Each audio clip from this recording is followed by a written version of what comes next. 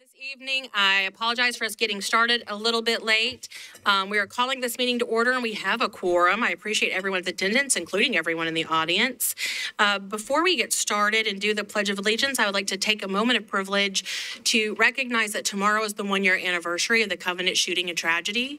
Um, and as we all are aware, that that was incredibly shocking, not only to the nation, but particularly to our own local communities, as many of us have our own concerns about gun violence, since it's the number one killer of children, but also because we knew many of those families. So if you will please join me before we get started in a brief moment of silence in honoring the, the beautiful lives of Catherine, Mike, Cynthia, Evelyn, William, and Hallie. Thank you.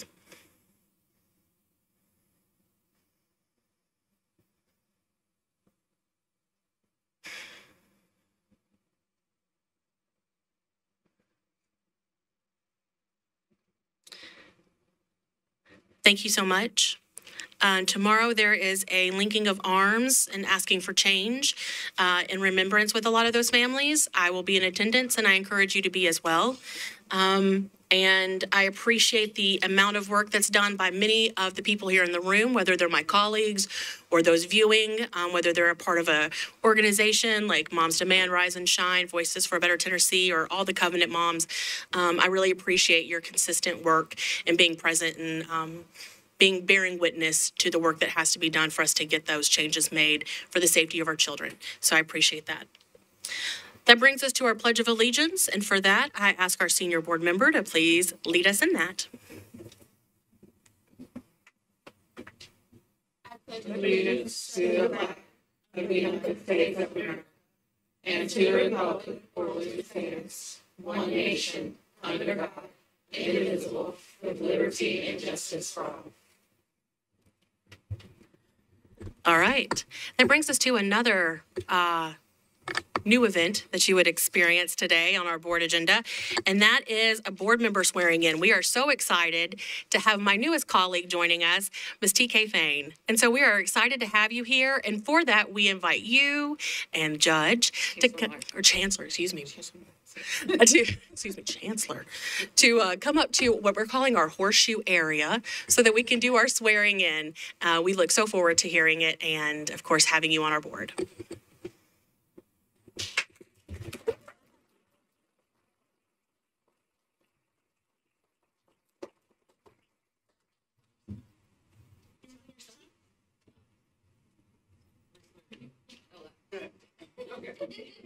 We're gonna put him.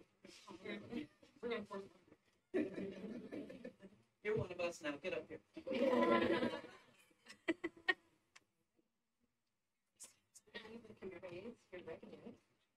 Yeah, there, there you go, turn around, we're all mothering you.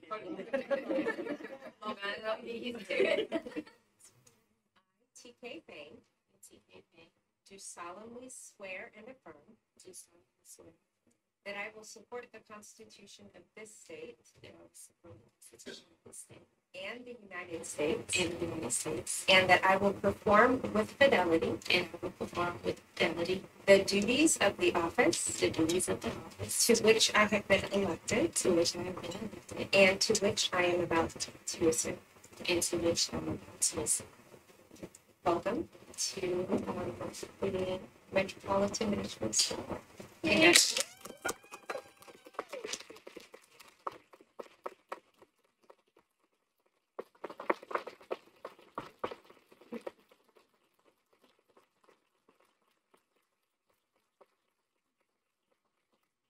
We are all your mothers now.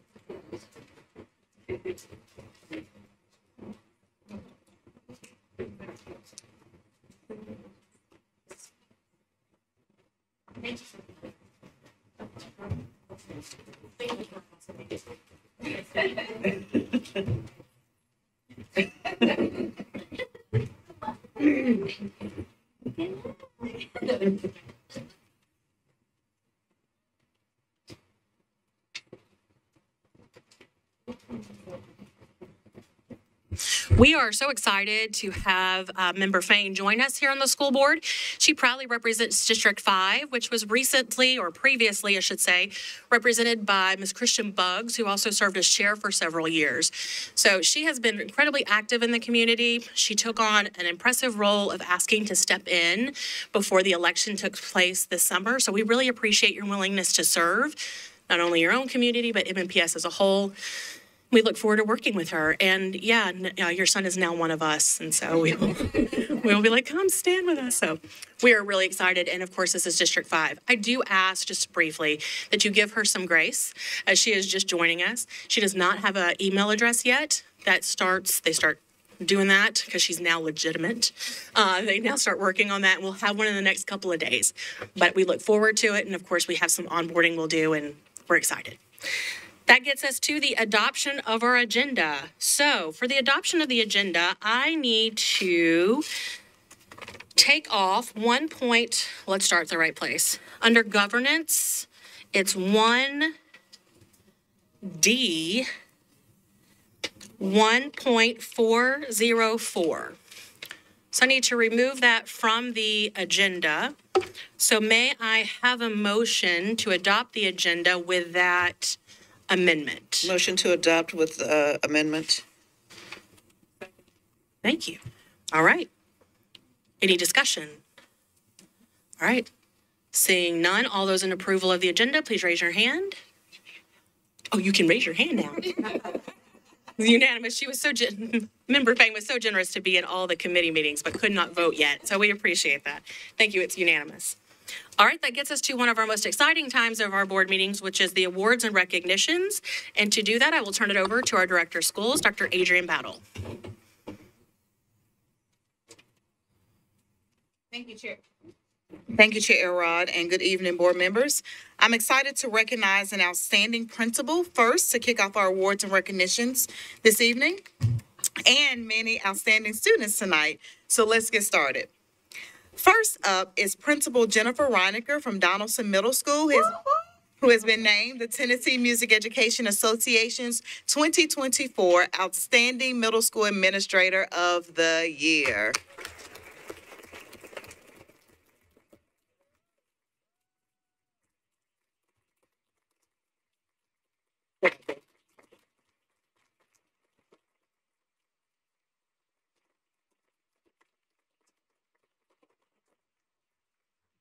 Principal Roniker was nominated for this award by Donaldson Middle School's band director Laura Shepard, who wrote in her nomination letter, Despite the challenges posed by the COVID 19 pandemic, Ms. Roniker has prioritized the importance of music education, ensuring that DMS band program continues to thrive.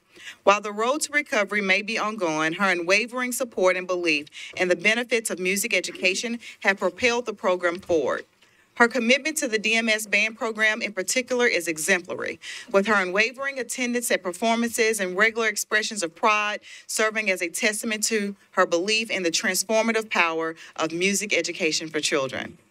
Principal Roniker will be honored at the Tennessee Music Education Association's Awards Banquet and Gala on April 11th here in Nashville.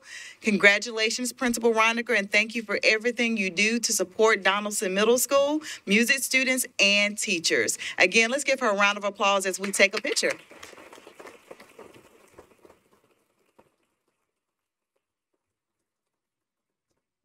It's good to see you again.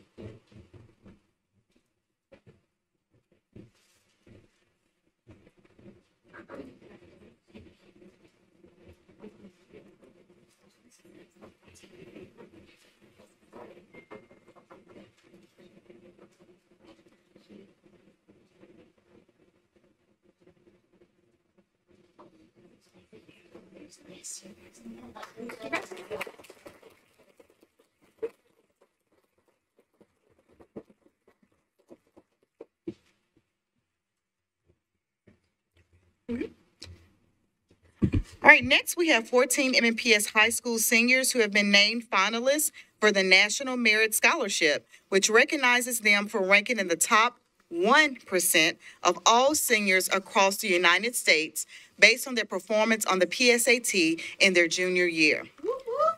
This is a high honor that reflects the skill, talent, perseverance, and dedication of each of these students and suggests, as we would expect anyway, that they will continue to excel after they leave us when they graduate in a couple of months. Scholars, we are so proud of each of you. As I call your names one by one, please come gather around the podium up front so everyone in this audience can admire you and smile at you, and then we'll get a group photo. And if I can ask everyone to just be patient with us um, as they come up, that will we'll be able to hear every name um, as they're being called. So the 2024 National Merit Scholarship finalists are from Hume-Fogg Academic Magnet High School, Isaac Asink. Isaac, if you're here, come on up. Let's give him a round of applause.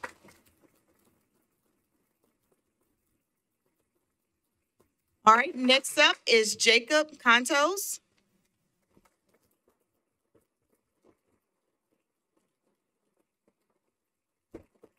Nicholas Ostrowski.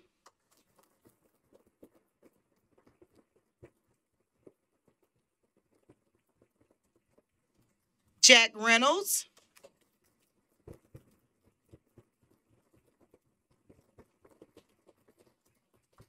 Tyler Reynolds.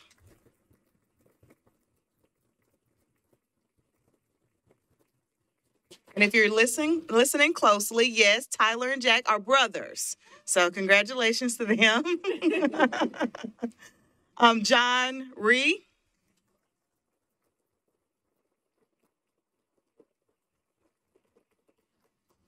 Layla Setlow.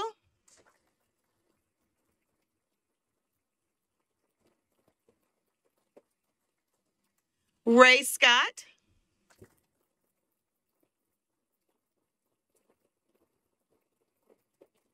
And Jerry Zhang.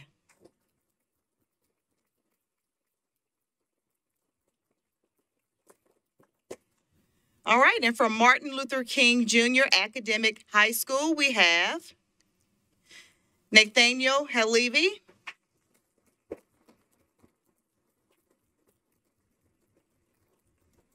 Tigran Polborn.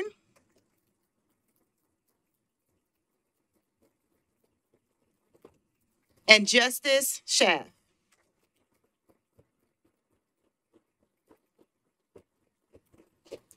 From Nashville School of the Arts, Deidre Kelly.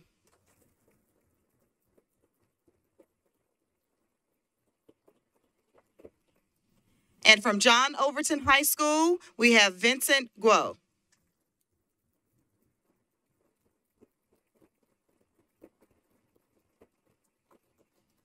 All right, y'all, let's give it up one more time. Then congratulations to our National Merit Scholarship finalists.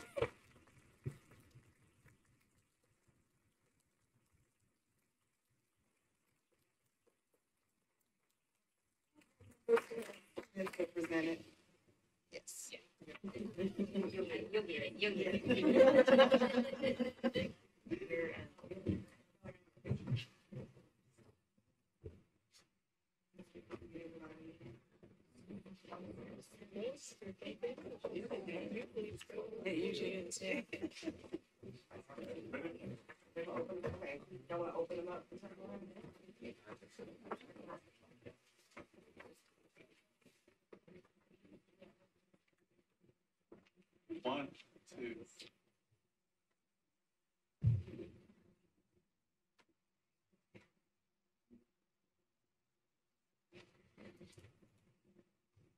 Yeah,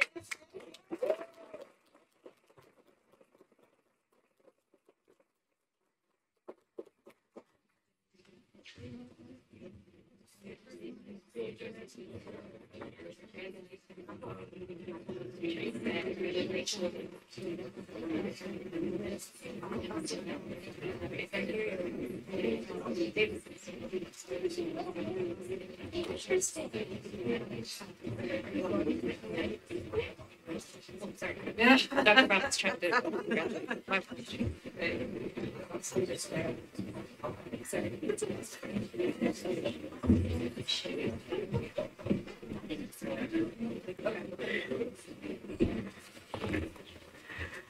All right, now Hope Vincent from John Overton, don't go too far. We're about to see him again with nine of his classmates. So, um, the next 10 students have won Cambridge Awards for their excellent performance on the 2023 Cambridge International Education Exam Series. Cambridge is an advanced academic curriculum that John Overton High School has used for many years. It offers deep understanding of subject matter along with critical thinking and independent study skills. Over 3,500 Cambridge Awards were distributed to U.S. students for their academic success in the U.S. and across the world. Students, this is a wonderful achievement, and we're so proud of all of you. As I call your names, please gather at the podium, and then we'll take a picture together up here. Um, let's get started. All right, the Cambridge Award winners in the Scholar category are Gracie Bixler.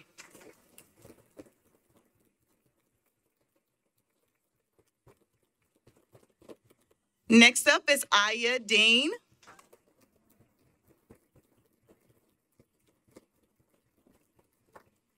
Daily Dowdit.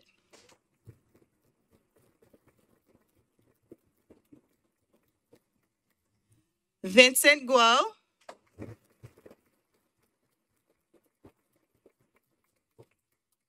Princess Nuozo.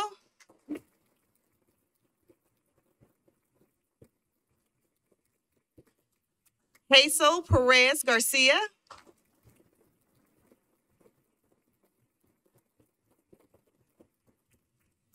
And Aaron Smith Deals.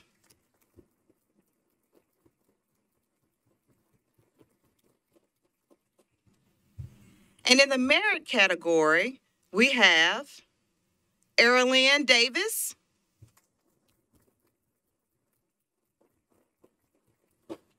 Joseph Garati,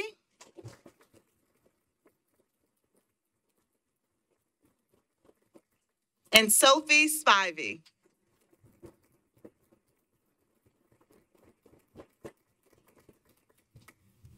All right, congratulations to our Cambridge Award winners representing John Overton High School. Dr. Garner, I see you back there too.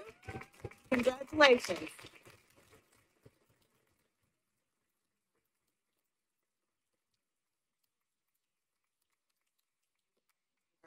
Stay there.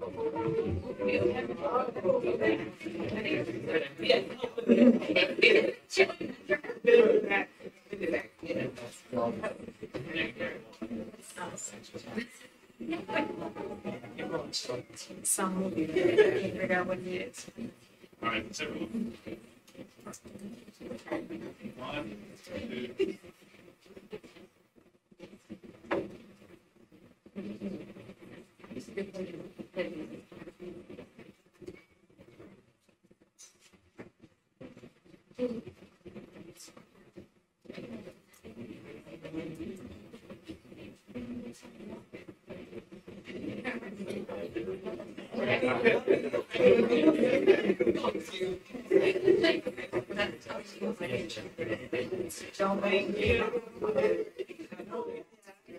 That's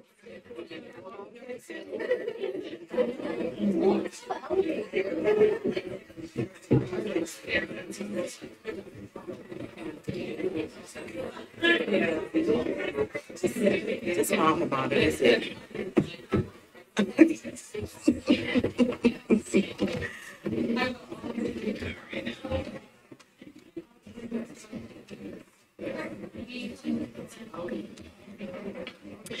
All right, lots of um, student celebrations today, um, just exemplifying their academic excellence. Um, we also have a new award to celebrate tonight. At the start of this school year, we began a partnership with the National Education Equity Lab, also known as Ed Equity Lab. They want to see talent matched by opportunity. So they work with school districts to give high school students opportunities to take classes from top universities, which meant that Antioch High School, one of the schools where we piloted the program, was able to offer an introduction to computer, science course from Stanford University in the fall semester. This is a great way to increase early post-secondary opportunities for our students as they prepare for college, career, and life. And our students are taking full advantage of the opportunities. Recently, we learned that two Antioch High School students have been selected for induction into the National Education Equity Lab Honor Society for their great work. We are so proud to have Antioch and MNPS represented in the Honor Society by these two excellent students. So I'd like to ask them to come up for recognition and a photo as I call their names. The first student we would like to recognize is Kevin Garrido. If you're here, come on up. Is Kevin here?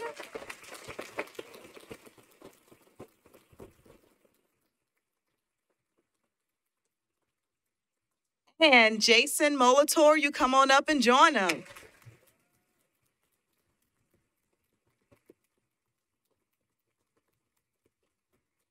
All right, before we take this picture, I want to say congratulations to Kevin, to Jason, and to everyone else we've recognized tonight. We're so proud of you representing Antioch High School, um, both locally and across the country. Congratulations.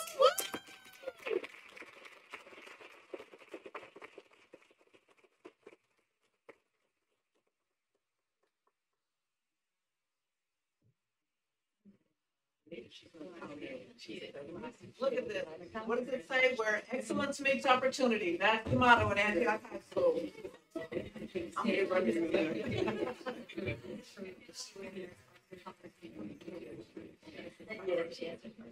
One, two.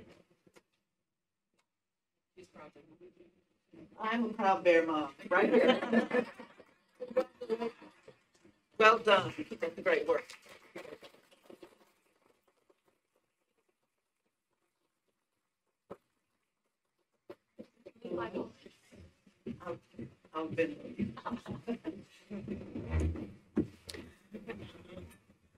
All right, Chair, before I turn it back over to you again, I want to extend congratulations um, to our principal and all of our students across the district who are recognized um, this evening. Um, Thank you just for your excellence, um, for your representing Metro Nashville Public Schools and your respective schools so extremely well. Um, Again, congratulations, and Chair Elrod, I'll turn it back over to you. Thank you. Um, it's always an exciting time. That brings us to a piece to our uh, board meeting that I'm really excited about, and that's going to be our student board member reports. We have two student board members that will be giving us a presentation along with their colleagues. Um, we will hear from them along with some of their, um, not colleagues, but their peers. Thank you for the word. Uh, for their, their peers about their scope uh, conference presentations and all of their interactions there, along with just some other information about them being student board members. I'm excited that we're able to include them inside of our um, agenda and have them speak to us on the board floor in a more formal fashion. So without that, without further ado, I turn it over to our student board members so they can present to us. Hi.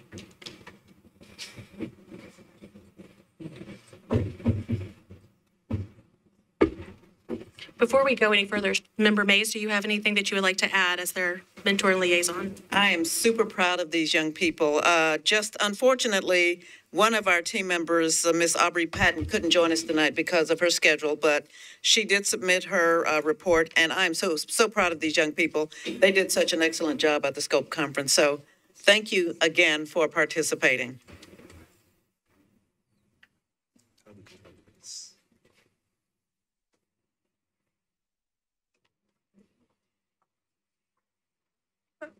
Hi guys. So, um, I'm Elena, if you didn't know, and um, I'm Christine. I'm Kavion. Speak into the mic. Yeah. I'm Kavion. What school do you go to? Tavion, tell us what school you're from, darling. I'm a sophomore at McGavock High School. There you go. So about two weeks ago, we attended uh, the Student School Board Association's Student Congress on public uh, on policy and education. Um, so the three of us plus Aubrey from a senior from John Overton High School, um, we all attended this conference. So we just want to talk to you guys a little bit about what we learned, what we did, and what we took away from it. So before I discuss what I did for the debate, I want to talk about what we what we hap- what happened at the beginning of the day. So we all split up into groups, and in each of those groups, we did our own little mock board. We elected a superintendent, and we chose board members, and we discussed we, we you know, different policies. And that, and that was also a really cool experience, just meeting new people around, well, just not our district, but people from all around Tennessee. People had to drive hours and hours. That was a really cool experience because everyone there was super smart, super, super love, super caring, super friendly, and it was overall a really great experience. So what my group was going to do was we were going to be con speakers for four day school weeks. So we were arguing against it. I unfortunately wasn't chosen to speak for my group, but either way, I did assist in helping them make points and helping them put together a speech. I think that's kind of what most of ours, most of our groups did.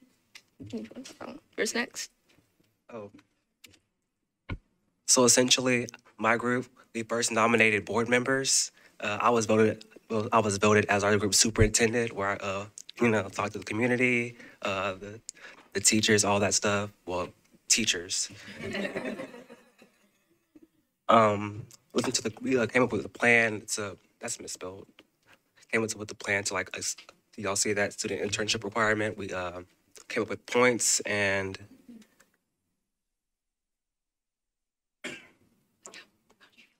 and we came up, uh, we- we made our debate on it. That's essentially what we did. Yeah. So, in essence, uh, everyone started off the conference um, with their groups and they had this mock school board meeting. Um, so, we were divided into grade levels. So, the sophomores uh, discussed um, the internships, our juniors discussed.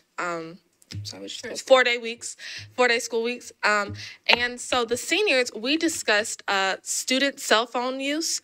Um, and so the idea was that um, I'll just read it. In recent years, cell phones have become more and more of a distraction to students. Some of the community advocate for a complete ban on cell phone use during the school day. Um, and so our group was to argue against that. And so ultimately, our argument was that the role of schools is to prepare students for real world success. So restricting cell phones would limit students' ability to develop self control, responsibility, and ultimately doesn't mirror everyday society because there aren't a ban on cell phones. Um, so I was lucky, I was chosen to represent my group um, in the conference debate. I'm up there. Um, and we actually won by a very large margin. So that was really, really fun. Thank you. Um, and Aubrey also was a senior, so she also worked on this, uh, on the uh, cell phones, but she was arguing for it. Um, and so she just gave us a little uh, note to read about her experience. So she said, attending the SCOPE conference provided me with an invaluable chance to advocate for myself while representing Metro. Collaborating with like-minded individuals in my group's debate on, on phone policies was both inspiring and rewarding. However, the highlight of the conference for me was facilitating a mock school board meeting and forging connections with peers from diverse school districts across Tennessee. So ultimately, that's what we did. It was a very great networking experience. And like Christine noted, this was from people from all around Tennessee who thought like Nashville was just so huge and we were just, y'all aren't country enough and y'all aren't this. And it was just, but it was just really fun because it was just a lot of different perspectives. And even me, I can't imagine being from some of those small towns. And some people only had once, didn't you, you had a group where it was one stu- school in the entire district or in the entire county? Like, you know, so it was just really interesting to see all of those different, um, groups and all those different perspectives. And it was just overall a really fun experience. So thank you so much, Miss Mays, for bringing us along and staying with us. And yeah. It was an incredible experience with these young people. Um, I had a group, I was a group leader uh, at the SCOPE conference, and I had a group of 16 young people, various counties. The largest district that I had was about 2,000 students. So listening to the perspectives of a large school district like mine was, uh, was really interesting and eye-opening to them. So it was really, and Kevion didn't give it enough, uh, get- didn't give us, himself enough credit. Uh, They had to, there was a mock school board um, that had to be selected and a superintendent search that was conducted within the mock school board. And Kevion was elected as, or selected as the superintendent for his group. So that's a big deal.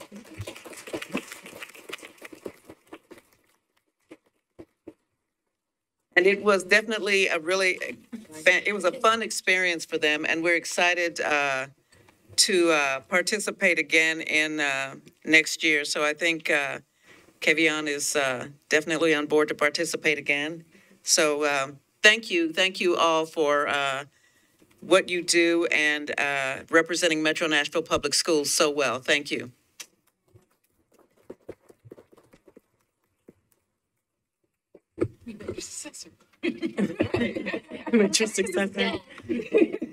I really appreciate our students giving their time to not only being student board members, but also stepping up outside of being a student board member and even going so far as to being the superintendent.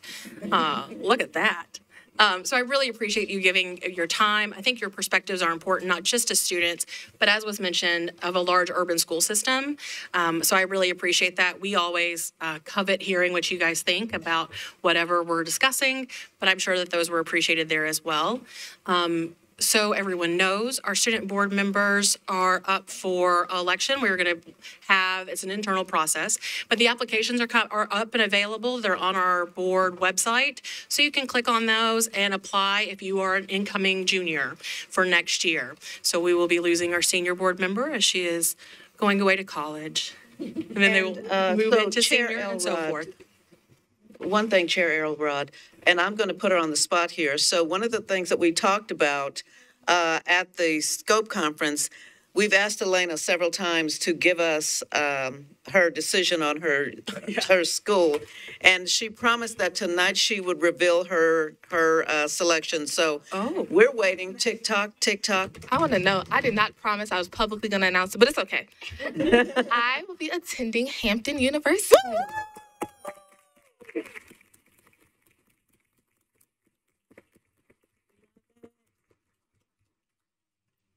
Love it. We are so proud of our student board members. Um, if this is your first time experiencing our student board members, just like our, the children of our other board members, we take them under our wing and mother them as well.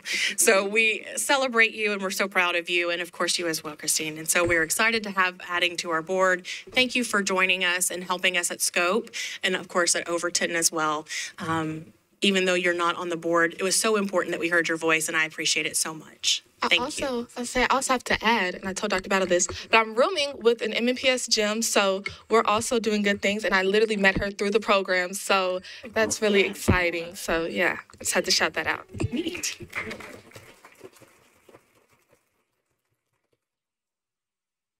Thank you. We will have another in May. We will have another uh, student board member presentation for another 10 minutes or so to go over their goals and responsibilities as we're continuing to grow this program and more formalize it and make sure that we are supporting these students and that they are also doing what we both hold our ends of the bargain, that they know what we're expecting of us and so that we can be good mentors to them as well. So I look forward to having that in May. That gets us to um, our director's report. But, but if- before we do that, if I may take a point of personal privilege, um, we, before this meeting, had two committee meetings. One was budget and one was governance. At the time, we stated that that was going to be reconvening immediately after this.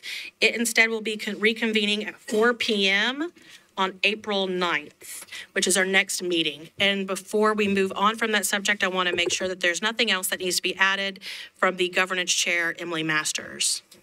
Thank you for that. I just I wanted to add that um, I just sort of wanted to reiterate something we've talked about on the board floor before, which is that it is only through bringing forward policies that we can have robust discussions about policies.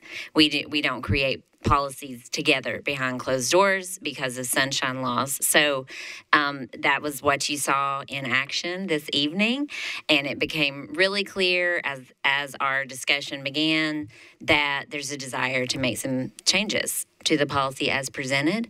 So all of the board members are invited to send those changes to Dr. Severe, our our wonderful helper of, of all things who's going to help us um, craft it into something that hopefully more closely reflects the will of the entire board. And then when we reconvene on april 9th we'll um, entertain a motion in a second and we'll talk about it. I don't know if i'll round robin again because that didn't work all that well. Um, and then and then we'll take a vote. So just wanted everyone to know that in case you were sticking around in the hope that we were going to come out of recess from that governance committee meeting after this meeting. We are not. We're going to do it on April 9th at 4 p.m. Thank you so much. That gets us to the director's report, and for that, I'm going to return it back to Superintendent, our Director of Schools, Adrienne Battle. All right, thank you again, Chair Elrod and board members. Um, well, I just want to first, um, welcome, um, our newest board member, TK Fain.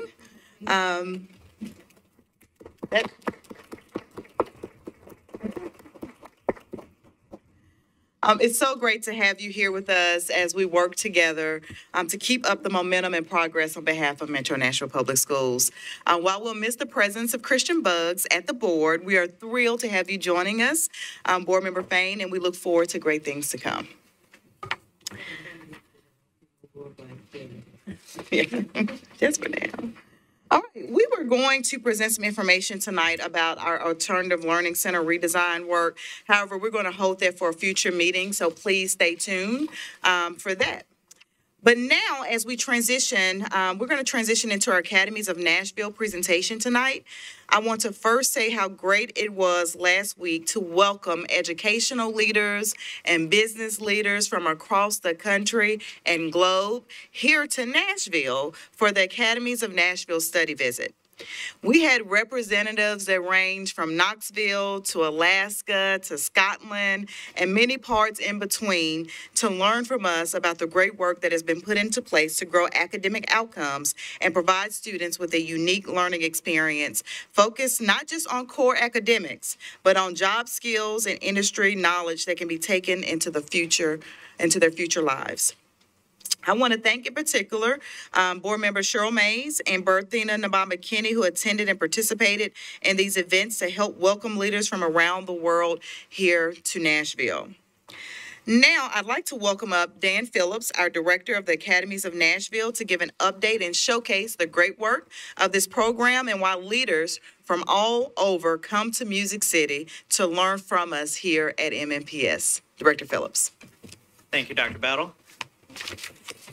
Board Chair Elrod, board members, Dr. Battle, staff, community members. It's an honor to be here tonight to give you an update on the, the academies in Nashville, both where we've been, where we're at, and where we're headed.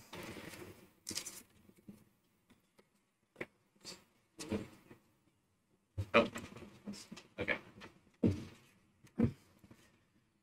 So when you look at the signature, signature initiatives of MNPS, um, the core tenants, as well as all of our focused outcomes, are all covered by the, the Academies of Nashville work. And we'll talk about throughout this presentation how each of these components are, are covered through the work that we've been doing and will continue to do.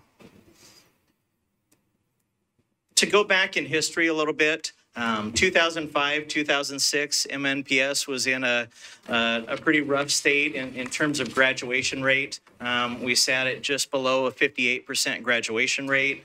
Um, we were on the, the verge of, of state takeover. Uh, Johns Hopkins Magazine um, labeled eight of our schools dropout factories, and there was extremely low public support for, for public education. Um, so that led us to applying for and receiving the Small Learning Community Grant. Um, so in 2006, 2007, that grant work started in, in eight of our high schools. Um, in those eight high schools, freshman academies were established, as well as advisory boards, um, which brought in the business partners through uh, the work of the Pencil Foundation.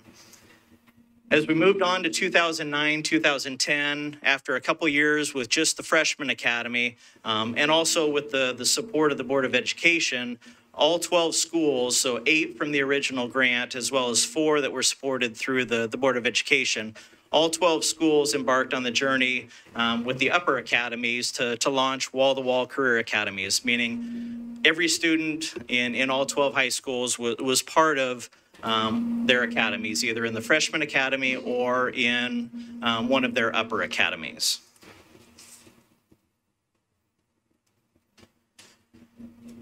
So when we look at the, the transformation that, that took place at, at that time, um, there are three primary strands that, that really uh, led this work.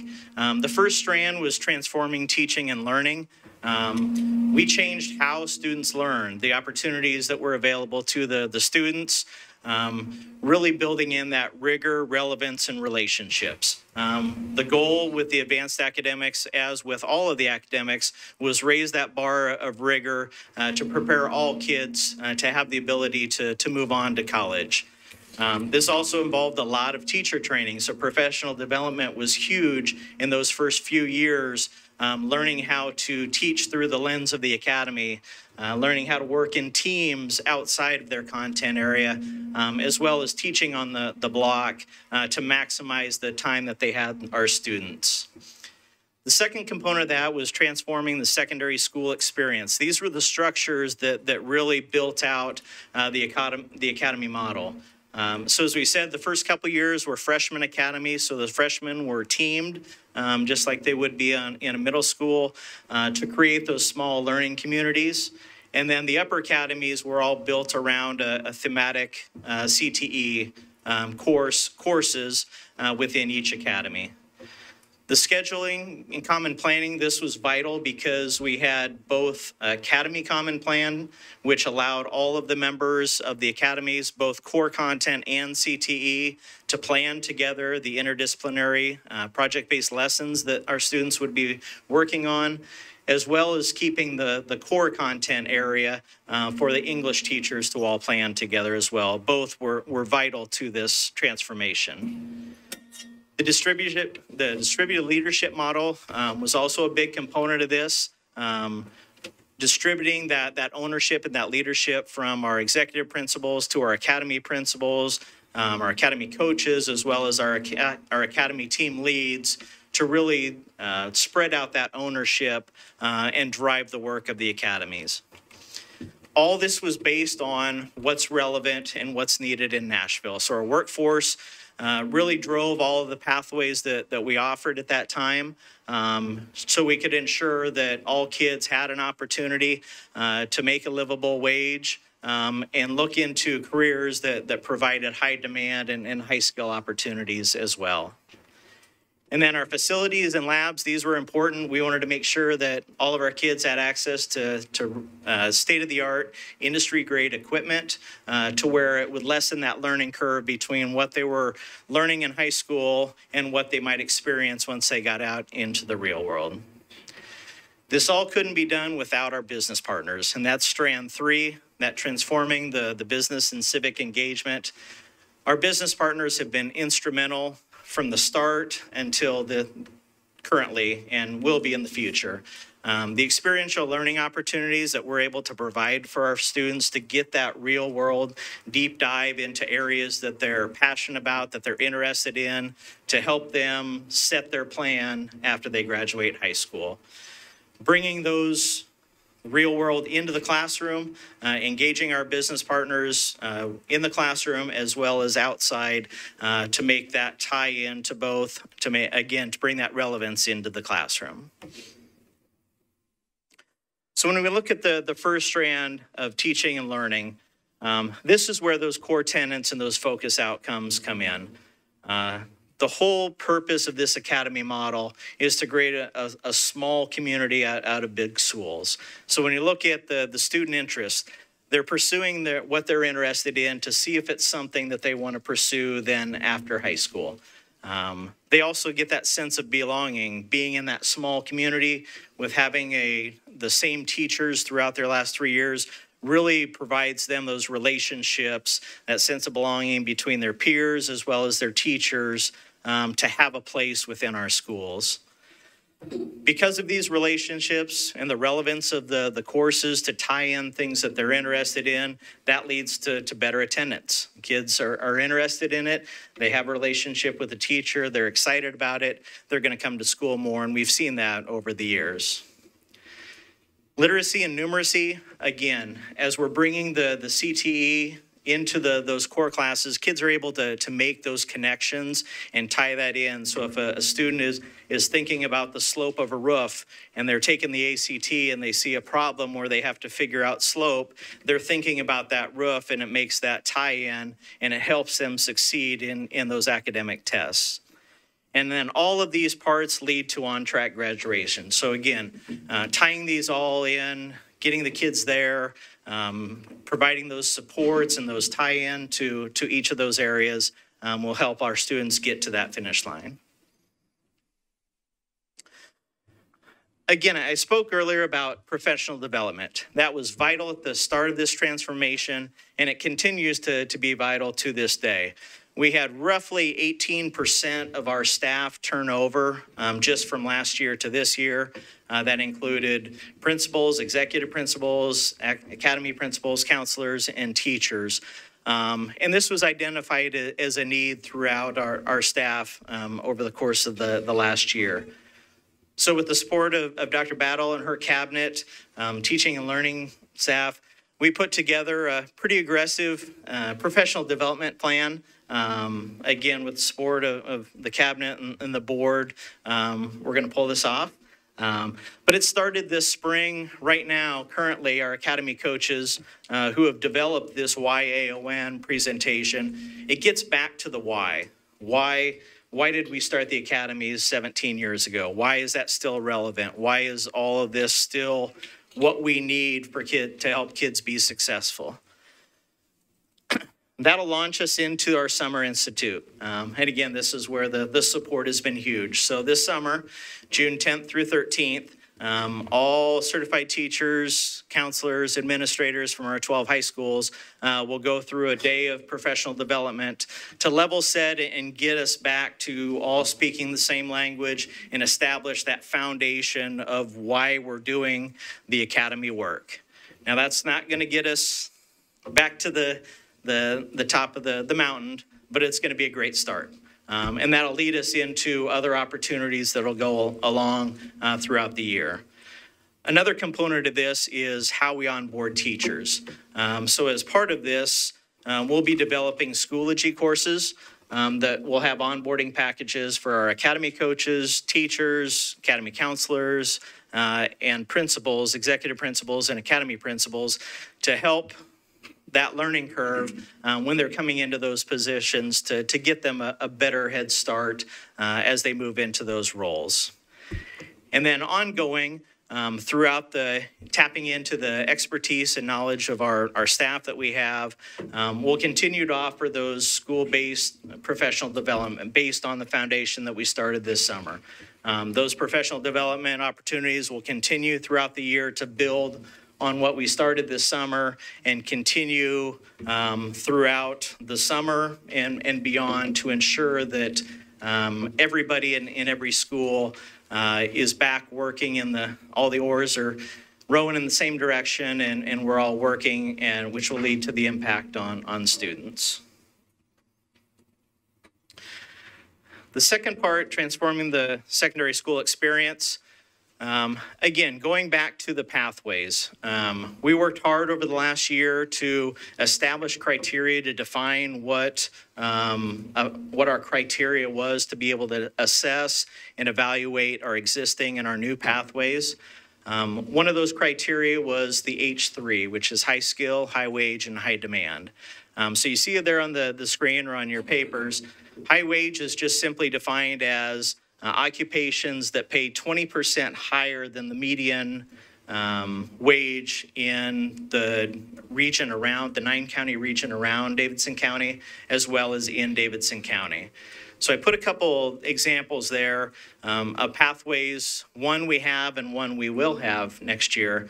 Um, cybersecurity will be a new pathway that we'll offer at, at Stratford STEM High School next year. And you can see there uh, the median income um, is quite a bit uh, bigger than, than what the, the, the region and the Davidson County is, as well as therapeutic services, um, again, relating to medicine, dentist, dentistry, uh, pharmacy, um, also quite a bit larger than, than what's uh, the, the average in these areas. High skill simply means something is required after high school. So whether that be an apprenticeship program or certificate program, associates, bachelor's, master's, and beyond, um, these occupations require something after high school. Uh, so again, with those two examples down there, you see that all of these degree opportunities are available here in the, in the Nashville metro. So there's readily available opportunities for our students to go on and expand their, their skills. And then high demand is a five, is based on a five-year projection. Um, again, in the nine county uh, region and the, the Davidson County. So you can see there, cybersecurity, a huge projection, over 17% um, projected over the next five years, as well as therapeutic service al- almost pushing 10%. So great opportunities. There are many more like this. Um, out of the 96 total pathways that we offer, um, 49 of those uh, meet the H3 criteria. So we have lots of opportunities um, in our 12 high schools for students to um, get into those H3 careers. The last component for business and civic engagement, really, again, our, our business partners have been vital. They've been the, the backbone of, of what we have done. Um, and what we've really started to expand over the last couple years is our career-based learning. Uh, so you can see on there some of the uh, the aspects of, of career-based learning. Um, but there's really there's a full continuum of, of experiences offered through the career-based learning. Those start in ninth grade, and you can see some of the examples here. Um, all of our students, uh, in addition to our, our magnet high schools, participate in a career fair. Um, we had about 4,500 kids that, that all went through the Music City Center, uh, which is a great, uh, great experience for the students. Um, college visits, career exploration, introducing those employability skills, all a part of the, the ninth grade experience. And then as they, once they're in their pathway in their academy, uh, they start to take their first level CTE course, their, their pathway course. So they'll start working on the industry certifications. They'll all attend a, a field trip, an industry tour, so they can start to see what those opportunities look like outside of, of our school doors. And then we, again, start to practice more of those employability skills, which will continue to be a theme through all four years. As they introduce or get into 11th grade, um, they have the opportunity to, to participate in a job shadow. Again, focusing a little more, they, they get to spend some time with a, a professional uh, to see, hear their story, see what they do on, a, on the average day to, again, learn more about the, the occupations that they're interested in. Um, we continue the in-depth project-based learning, bringing those elements from the the real world into their high school classes. Again, we're reinforcing more of the, the employability skills. And then in their senior year, um, with the mock interviews, um, again, working on finishing up those industry certifications and continuing that, that real world uh, learning through project-based lessons. Another component of that, that senior experience is an opportunity for, to get into paid internships uh, where students can earn while they learn. Um, we have quite a few opportunities available outside of the, the school district. Um, but again, through the generosity of the district, uh, a lot of our students' transportation is, is an issue. And so the district stepped up and, and provided a lot of in-house opportunities where students could still get that real world experience but they don't have to leave the school. Um, at $15 an hour, it's a great opportunity for our kids to, to earn while they learn these real world um, scenarios. In addition to that, they're also taking a career-based learning practicum course where again, they're working on employability skills. Um, also, if they haven't passed an OSHA certification, they'll do that throughout that time. Um, and they do are allowed to take advantage of getting out of school early. Um, they do earn credits from this, but they can leave school early to either go out to a job site to do their career-based learning or go to a different part of their school uh, to be a part of that. And you'll hear uh, some aspects of that from our student speakers. To be eligible for this, they do have to be seniors. Um, they have to be on track to graduate and have at least a 90% attendance rate in order to, to take advantage of these opportunities.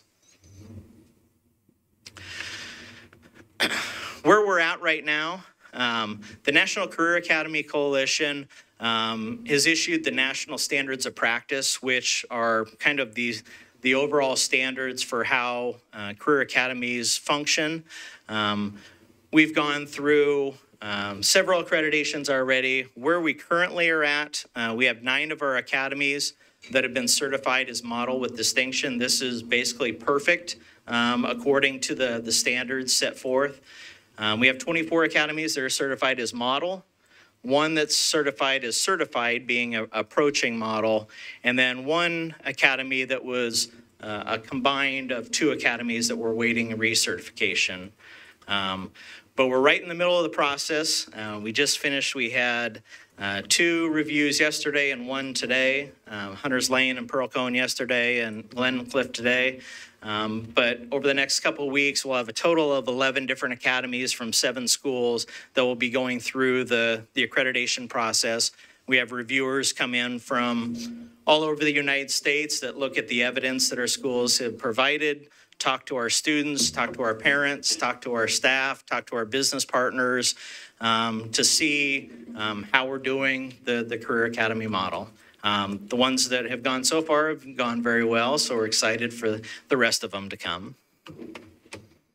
And then next year, um, all 12, none of our freshman academy currently are accredited, so all 12 of our freshman academy will go through accreditation next year. As Dr. Battle mentioned, uh, we had quite a few people come to, to Nashville last week to, to learn.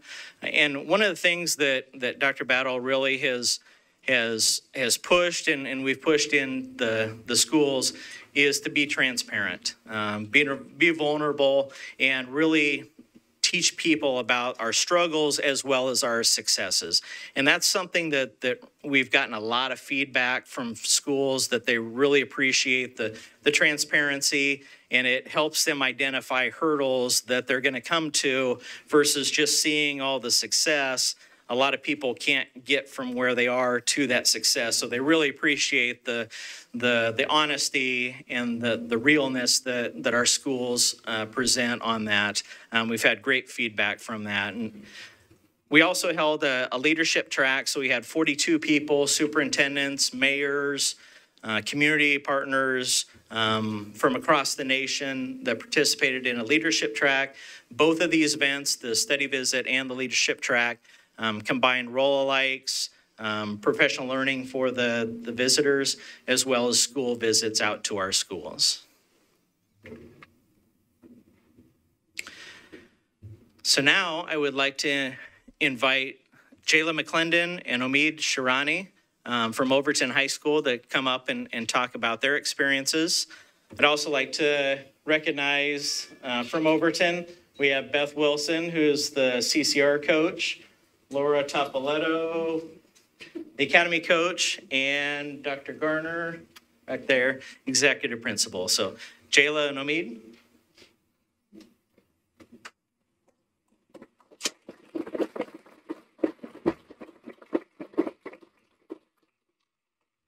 Hi, my name is Omid Shrani. I'm a senior at John Overton, and I'm in the um, IT Academy with my pathway being digital arts and design. Good afternoon. My name is Jayla McClendon. I'm a senior at John Overton High School, and I'm in the IT Academy in the coding pathway. All right. To start off?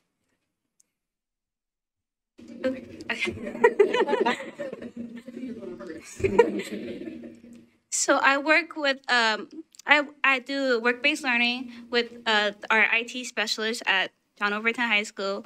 We help fix students' laptops. That means replacing keyboards, batteries. We also help uh, set up monitors for admins, and we also help clean projectors. I really like I really like this opportunity because I got to learn things that I thought I wouldn't like, and I got to learn skills like problem solving and critical thinking due to all the troubleshooting and all the t- problems with the computers, and I really like it. Uh, what else? also, this uh, job made me want to pursue cybersecurity when I go to college, which, yeah. And that's it. Thank you. So a few things I wanted to make points on were the industry certifications that you can get through the um, IT Academy. So currently I have a Photoshop certification and I'm working to get my Illustrator, Adobe Illustrator certification. And I think one thing that really I enjoy about this academy is that um, regardless of work-based learning, I can still have work just because I have these certifications and work like independently uh, for myself and make money using these certifications. Um, to speak on job shadows, I my junior year I had a job shadow at a company called Darvis, which as somebody who wants to pursue a career in IT, it was really interesting to see how young people um, who have these startup tech companies work in their everyday lives and how their workspace is. And it was that was a great experience, something I always remember. Um, like uh, Jayla said, we have a lot of uh, work-based learning opportunities and internship opportunities. Um, this is something that I wish I took a part of, but I didn't. Um, these internships, uh, really, it's something as like somebody who's been in high school in another district. We don't have these opportunities everywhere, and I think it's great that Metro has these opportunities because it really distinguishes us in comparison to other school districts. And I think it's great that you could be a 17-year-old senior in high school uh, leaving school early, going to work, and making a good uh, wage. Um, and then one thing I wanted to, my final point, I guess, um, in my graphic design class, um, our teacher, Mr. Desh, was a great teacher, um, he's one of my favorite teachers at Overton. I think us having um, teachers who really like connect with you as students is one thing that makes our academy model great as well.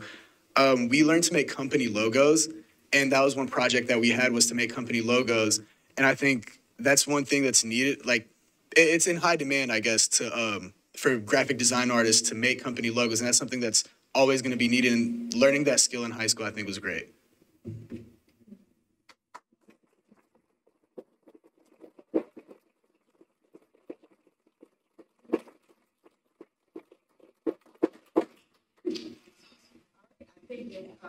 our student leaders can stay close. We might have some questions for you before you head out. Um, we'll let uh, Director Phillips wrap up the presentation and we'll open it up for some more questions, okay? Thank you all so much. Yes. Great job.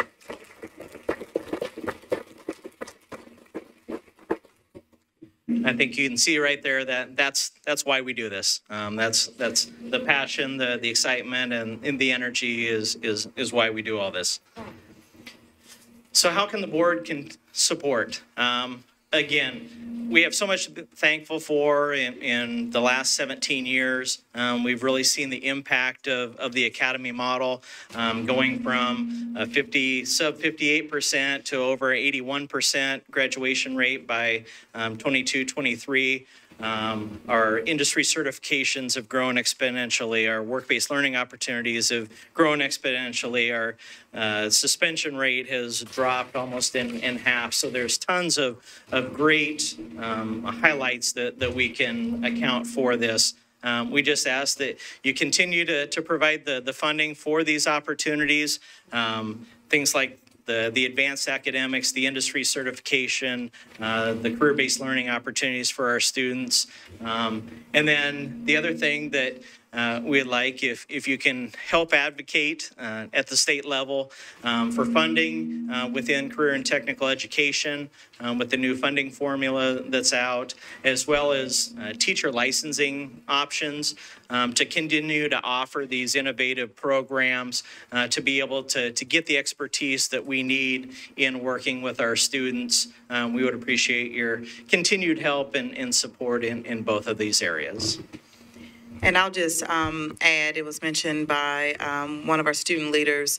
Uh, one of the things that also sets Metro Nashville Public Schools apart from other districts is our ability to cover the costs for students to engage in advanced academic courses, industry certifications, and um, other relevant um, opportunities. And so advocacy and just commitment to that as we move forward is, is greatly appreciated um, so that students can shine and uh, be first in line for these high wage, high demand, high skill uh, career opportunities. All right, with that, um, Chair Rob, we'll turn it back over to you. Right, thank you so much for all that information. All right, that brings us to discussion. Do I have any questions? I'm going to start first with our student board member, Elena, and then I will get to member Tylor. I just want to add on what everyone's been saying. Um, as an academy ambassador at Hillsboro, I, uh, we had a study visit at Hillsboro, and people really were um, very impressed and it and it and, and shocked by all the things that we had, and it really reminded me how privileged we are here um, in MNPS. And I also want to give another shout out to Omid and Jayla because you guys sold the academies way better than I ever could. My academy coach wishes I talked like that on our tours. Um, so I just want to emphasize, you know, how important these academies are. But y'all did my job for me, so I'm done. Member Tylor. Um, just a quick clarification for me. So when you're talking about like the teachers in the academies, are those certificated teachers who have gone through a program to be a teacher? Or are those industry leaders who are coming in to teach? Or a mixture? Both. Okay. So the, the academic, um, the core teachers, English, Mhm. math, science, Yeah. social studies, they're all certificated. Mhm. Um, the majority of our CTE teachers do Mhm. come from industry. Um, so they come in and they go through an educator prep program to, to learn that. Um, we also, through our Perkins funding, um, we brought on an instructional coach for our CTE teachers that have less than three years' experience, um, just to build that relationship, provide that support, so we don't have to continue recruiting teachers. If we can retain them, we don't have to recruit them. So that's been a, a, a big key in terms of supporting our teachers and, and keeping them there.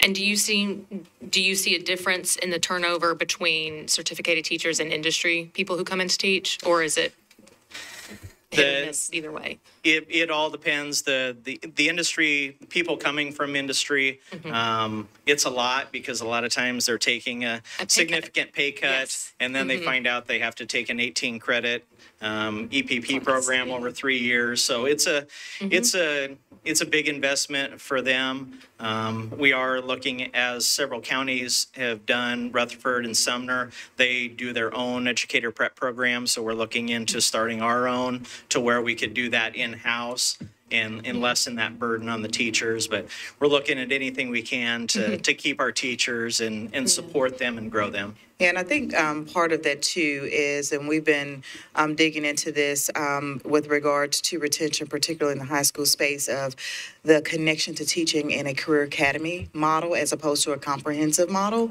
um, and the benefits of being a part of a small learning community. So that's another angle that we're paying attention to um, to help kind of uh, establish our YAON um, work. So. That makes sense. And I know we had talked about, oh, maybe years ago now, um, I can't believe it's been that long, about partnering with other groups so that we could, um, of industry groups. Um, I think I talked, we talked a little bit about partnering with some of the union groups so that we could help provide, um, they could provide some teachers for us, and then we could provide some people to follow that pathway for them. So it's mutually beneficial in a way that helps our students um, and also grows those industries in Nashville where we need it. Um, so I think I just wanted to kind of check in on how Yeah. are we doing with those partnerships with outside groups? I think um, the uh, most recent Maplewood partnership is a great example of that. It's one of the first um, in the state. And so, yes, we've been um, creating those par- partnerships and moving the needle um, with regards to those experiences that are relevant to our students to help them build um, career opportunities. So, the Maplewood announcement, I'll turn right to that as an example, um, a, a, a bright example of what that can look like um, to benefit our young people.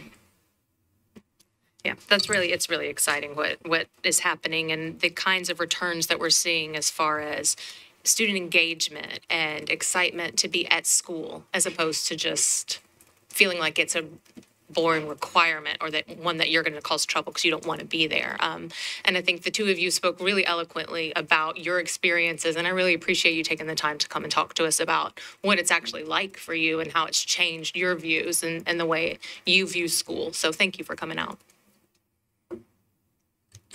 Thank you. That gets us to our other student board member, Christine.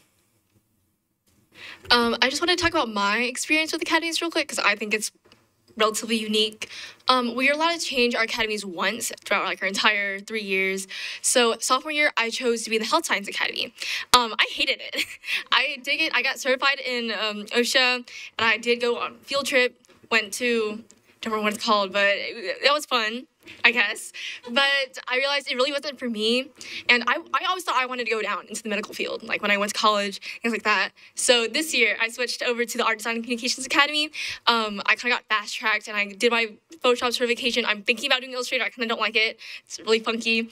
But if I if I didn't have these academies, then I'd probably go to college and do something I didn't like. And I think that's the best thing about the academy experience. It's really just an opportunity to figure out what you like, what you don't like.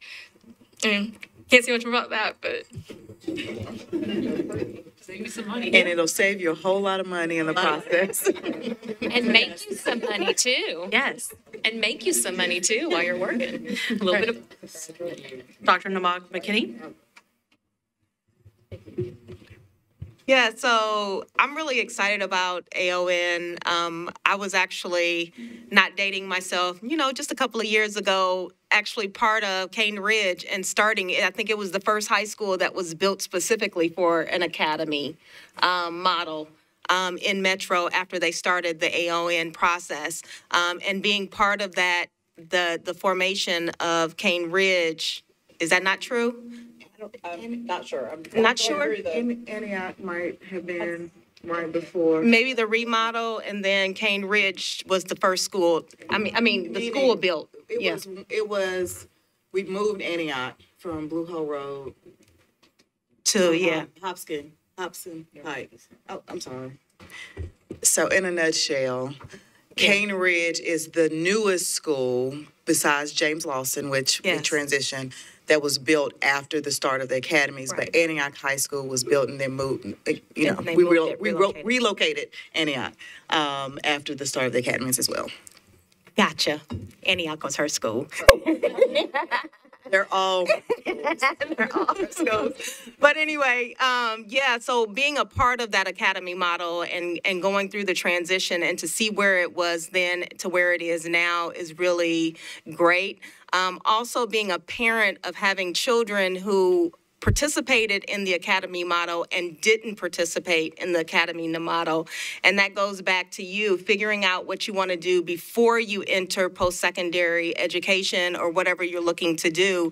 Um, so i saw the difference between my 30 year old daughter not going through an academy model and then looking at my 25 and 23 year old uh, children who went through the academy model. Um, my son graduated i still have some in the system still so i'm still going through this um, and so i'm excited to see what my son now has the opportunity as a elementary student going into this as well.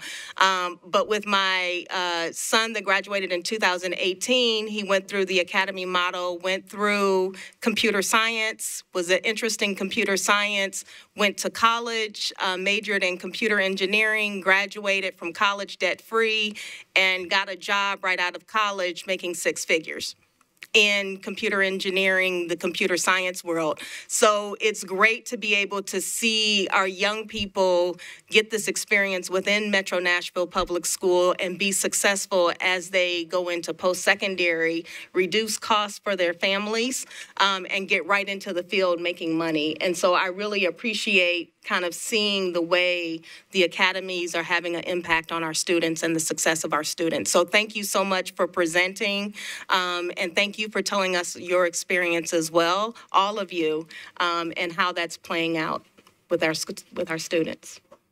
Thank you. Member Mayes? So one of the things that, uh, yeah, I started out uh, as a business partner uh, in the Academies of Nashville in 2009. And uh, it was probably the best decision I've ever made because it provided an opportunity for me to work with young people just like yourselves and find out what it is you wanted to do. And Christine, you make a very valid point. My son went through the Academy of Finance uh, in uh, at Antioch, and he learned very quickly he did not want to be in finance for the rest of his life. and so I appreciate the Academies of Nashville saving me a ton of money for him not going to school to be in uh, finance. Uh, but um, one of the things that we definitely want to make sure that we are saying thank are remaining thankful for are the business partners. The business partners help drive this success of the academies of Nashville and provide opportunities for young people just like yourselves. And what I can say is that um, the business partners have uh, historically been very vocal about those industry certifications because they know what the industry demands. And if we are providing certifications that are useless, they're going to tell us very quickly. So it is absolutely, I love the fact that we have these study visits from around the globe. Uh, people are starting to understand that we have it together and we are providing the most masterful opportunities to our children that we could possibly provide, getting them to that point and crossing them over before they even get out of high school. So I am so excited. And I would challenge every single mem- board member if you have not visited a school that has an academies program, please do so. There are lots of interests that you can uh, engage in, and I would encourage you to visit those schools and learn firsthand how amazing these academies programs are. So thank you. Thank you. Member O'Hara Block? Um, I, just from the perspective of, that, uh, Ms. Mayes was just talking about, I know as I've been to, um, tours at Hillsboro, um, and I've been on, I've like countless tours of Hillsboro now, but, um, one of the things that is always really attractive as I see it for students are all of the things that the academies have to offer. So, um, they- have, uh, such cool spaces and and like things that are of interest to students. Um, I think you were talking about relevance, and it is really um, an important uh, part of the model. I have a couple of questions. Um, you mentioned um, certification for the freshman academies. I, I think I sort of know or understand less about what the freshman academy model might require in terms of um, sort of both the, the plan overall and certification. I'd just be interested to hear you talk a little bit about that. Sure. The the freshman academy is all about getting to know who they are uh, as a person, what their interests are, what their aptitudes are, and then getting a, a exposure to all the opportunities within their school. Uh, so they'll start a, a, portfolio, and this is something. Sorry. Uh, for your seniors, um, we're, we're getting put in place uh, across all 12 schools. They'll start a portfolio, a digital portfolio that'll be theirs for life. Um, so they'll uh, document all their experiences throughout their, their four years. Um, but that freshman year really is about getting to know who they are, um, what their interests are, what their aptitudes, what professions that might apply to, and then really starting to map out the, the rest of their four years in, in high school. Cool, thank you. And um, the the types of opportunities that you all talked about, and that I know students are able to have, and that some of the board members have talked about, are, are and, and what you, uh, the data you shared about um, career pathways is so important. I, I'm curious to know if we are able to measure through any way where our students end up in terms of um, both uh, college or post-secondary pathways um, and then also career after they graduate from high school. I'm looking at board member Block because I mean, I asked her for a reason. she knows the answer to this question. the first thing is yes, um, Dr. Um, Nabaa-McKinney was right about Cane Ridge. Check did some day checking, so she was she's accurate about Cane Ridge. Hey, I only know one way. I only know one way. Um, so so the answer to your question is we try to um, it is not the most effective model because of the lack of coordination, not even coordination, data release or access um, to us as a K 12, pre K 12 institution. Um, the state actually does track um, this information. Right now, we're working to see what can be done, and districts across the, the state are working to see what can be done for that information to be shared. In the meantime, um, our educators are just doing um, enormous work and have a, a, huge lift and tracking down students, having the conversations. We have some surveys um, that we've um, issued to our students to gather um, that information and to track their progression um, through their post secondary experiences and career. So, um, it is not the most efficient way. We recognize that, but our educators know how important it is for us to track this to help guide and, um, where we are with our academies of Nashville. And in the meantime, we've got a team working um, to see if we can um, get released um, data to the P20 system. Yeah, I'm, and I've talked about this before, so I, and I did know the answer to the question more or less, but um, it these types of programs are so important and uh, and give our students so much, but it is very hard to sit in this kind of seat and look at um, the outcomes that the state measures from an accountability perspective, the types of things we see on ACTs, various other things, and not know what else is happening in terms of where are students going, what are what is what is the academy's model offering them, um, what are they able to do after they leave, and then to be able to make all the right advocacy continuing for these programs. Um, and uh, and I think that not only should the board be concerned with that, but also our local businesses should be concerned with that. Our Chamber of Commerce should be concerned with that. A number of entities that could, um, that this does uh, impact the ability for students to get the type of um, work-based learning experiences. It would be really nice to know what actually that uh, that does in terms of where students end up. Um, one just other question is, when we talk about academies, one of the things, and I think I've probably asked this question before too, so forgive me for asking it again. and you probably know where I'm going since you laughed. Um, but core subject oversight lives in, within academy principals, uh, with other principals. Where where does that sort of how do how do we distinguish between what is within the academy and what is without the academy, and who sort of oversees which elements of that? Okay, I want to go back to your first question um, before I jump into that response. I do encourage this board and the community when you're out and about um, in the Nashville area, in the region, um, you should engage with our young people about where they've graduated from, their career academy experiences. Um, I almost can't go anywhere without um, engaging with one of our students who graduated from our academies of Nashville. And I mean, there's a, a couple just examples that come top of mind. Jackie Gomez, who is now in the mayor's office, was one of our students. Um, one of my students when I was principal at Antioch High School. I have followed her pathway all the way. I'm not shocked about where she is. She um, left from um, Amazon, I believe. It Was Amazon? And now Asurion, thank you. She was at Asurion, and now she's in the mayor's office. Um, I bank at the credit union.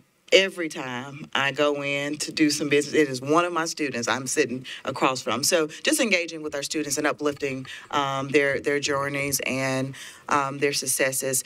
With regards to your question about the integration of CTE and our core instruction, um, you will see. I can attack this a couple ways from our org chart um, perspective um, they're all on the same team. So Dan is on, um, uh, Director Phillips is a part of um, Chief Bellamy's team, which is a part of um, David Williams and his team around teaching and learning. So there's a very integrated um, approach. And one of the things I'm really excited about and proud of, of, of our journey over the last few years is that when we're supporting the professional learning, the feedback, the coaching, um, the strategic planning with our schools, it's not done in isolation.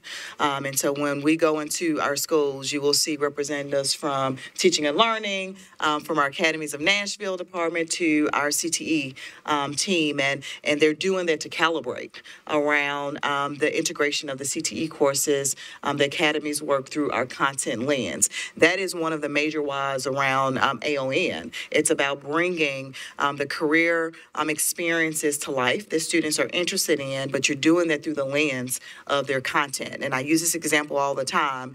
when you think back to your high school experience, how many times have you wondered, why do I need to know this? Right? So it's about the rigor, it's about the relevance, um, it's about the relationships that are built through our small learning um, communities, and it's to ensure that our students are ready for those post secondary opportunities. And so teaching through the lens of the academy is one of the professional um, learning opportunities um, we provide in MNPS, but it's all to the intent is for it to be integrated.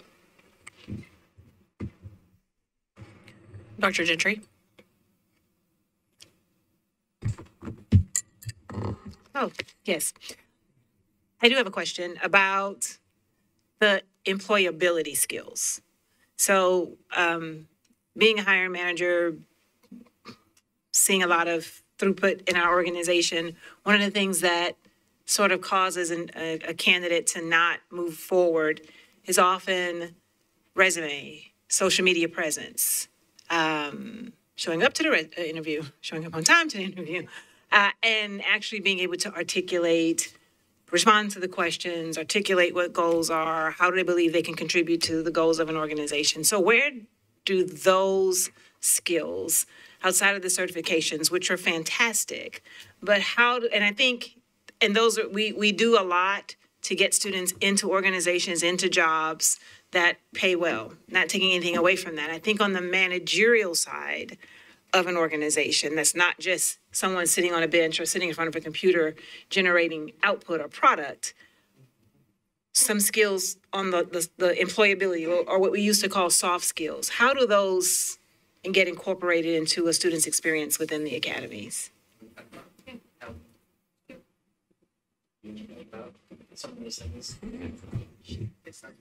Some of those things. Am I good? I think overall, um, to where you were talking about things like interview skills and things like that, I think, like how I mentioned, um, having a good relationship with your teacher, which our teachers do strive for that, um, is one thing that um, kind of they don't just really build us as students, but they build us as people as well. Um, and real like emphasis on um, things like you said, like hireability. Um, so I can say like my teacher, Mr. Deshes, um, he's incorporated these things into class, especially with our uh, senior capstone. Um, those things overall, um, it kind of all play, and it'll all like tag in until your senior year. You'll pick up bits and pieces along the way. That's really all I have to say about that. Yeah, and it starts um, freshman year is where we begin to introduce the employability skills.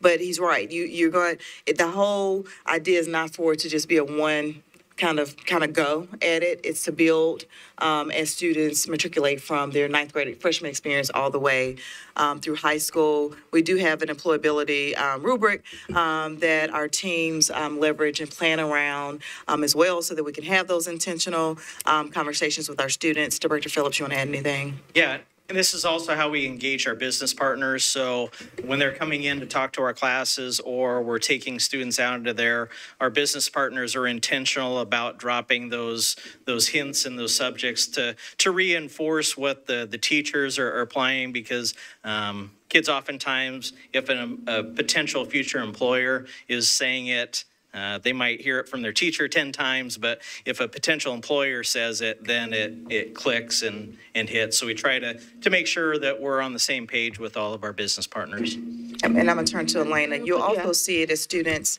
um, are preparing for the career fair, when they're preparing for job shadows, internships. That's part of the preparation leading up to those experiences. Yeah, I was gonna say I had a unique freshman seminar experience because I was virtual, but I do remember freshman seminar hit very hard on soft skills and think we might have did some ingenuity and things like that about um, how to, you know, career based things. How do you go into an interview? What's important? How do you need to, you know, social media? I do think you could argue that the emphasis on that gets a little lost once you get into your um, career based, the specific pathways. But I do remember that being hit very hard in the freshman academy. Can I add one thing? Um, so my, I believe it was my junior year, um, Miss Wilson actually helped us build our resumes, and I still use that same resume um, to this day. I use it to apply for my summer jobs and things of such. So I just wanted to add that because I didn't know how to build a resume prior to that. And, and so all of that, it really does sound great, and I, it, but it also sounds subjective and sort of not consistent across schools and academies, right? I mean, unless, I mean, unless I'm not hearing something, I understand the freshman part, and I would just offer up a, a consideration, and it goes straight to what you said, um, Board Member Elena Mitchell, uh, about it sort of gets lost in the freshman. I think hitting it as a freshman versus maybe a senior. Um, you know, so I teach a, a course called Professional Development for Graduating Seniors uh, at a, at a four-year university. So catching, it, I think it's understanding the technical and then maybe adding something else on that end when you're exiting and you're beginning to interview for jobs. Just a consideration so that it's not lost. It's not dependent on how your teacher thinks about it or the right business partner talking about it. We have it baked into the curriculum and it's more intentional. So just with consideration. I think to add on to Dr. Gentry's, what I believe your consideration is that you presented, is from my professional experience as well, those soft skills and professional skills are often hard to teach. They're commonly discussed, but it's truly in practice is where you hone them and become comfortable with them and really grow into them. So I think in that consideration, we have an important part of working with our partners and making sure that they understand what they're looking for within our students and that our students understand what the outcome is.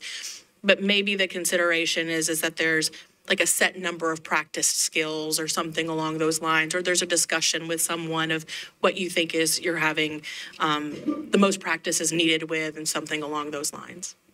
That said, though, uh, y'all did an amazing job. I am so proud that y'all are here. Uh, Overton is my school, in case you don't know that, uh, sitting in the room. So I'm so proud to have you, um, and of course, Dr. Gardner as well. I've had the pleasure of hearing from Omi before, and you did a great job of again talking to a group of adults about the importance of academies beyond just when you leave Overton. And so I thought it was a great point, and I just want to make sure that we reinstate it he has made the comment before, and I hope I'm not speaking too much for you, of the skills and the certifications that you're learning here have helped you currently as well. It's not just something that you're looking forward to in the future, though of course we want that to be of assistance then, but that you found practicality in helping it now. And that's so important. And of course, I'm glad to have you at MNPS as I know you came back to us. And so I appreciate you being here. Also, to our uh, junior board member statement, something that I learned really quickly about Academies of Nashville was that it was something that we were known for. Um, when I first joined the board in 2018, uh, that first year, a few months in, one of the first things I did is I went to a convention called the Council of Great City Schools, and so it's the 50 largest schools. And we had so many people coming up to me, talking to me about the academies, and quite frankly, I knew about the academies from my own personal experience with MNPS, but I also knew about it somewhat from my orientation and introduction with then being a board member in my newer role with within MNPS. But I learned so much from these other people that had been to what happened last week and that had done their own research on it. And a big piece to that was they were so impressed with how we have to have those business relationships to really get this to go for our students. I know that's a tremendous amount of work. In the past, our board has asked questions about what, if anything, is specifically needed from us to help recruit those uh, partners, particularly in the positions where we have the highest need for certified teachers. Do you have anything that you could share with us for those needs? Yes, as we're finding with our career-based learning experiences expanding, um, we have just under 400 business partners, but as we grow these experiences, um, that 400 can't sustain. We need more. And so we've worked with the chamber. We, we've hosted a, a healthcare happy hour to, to bring in more healthcare partners. Um, we have an IT happy hour coming up, again, to bring on more IT partners.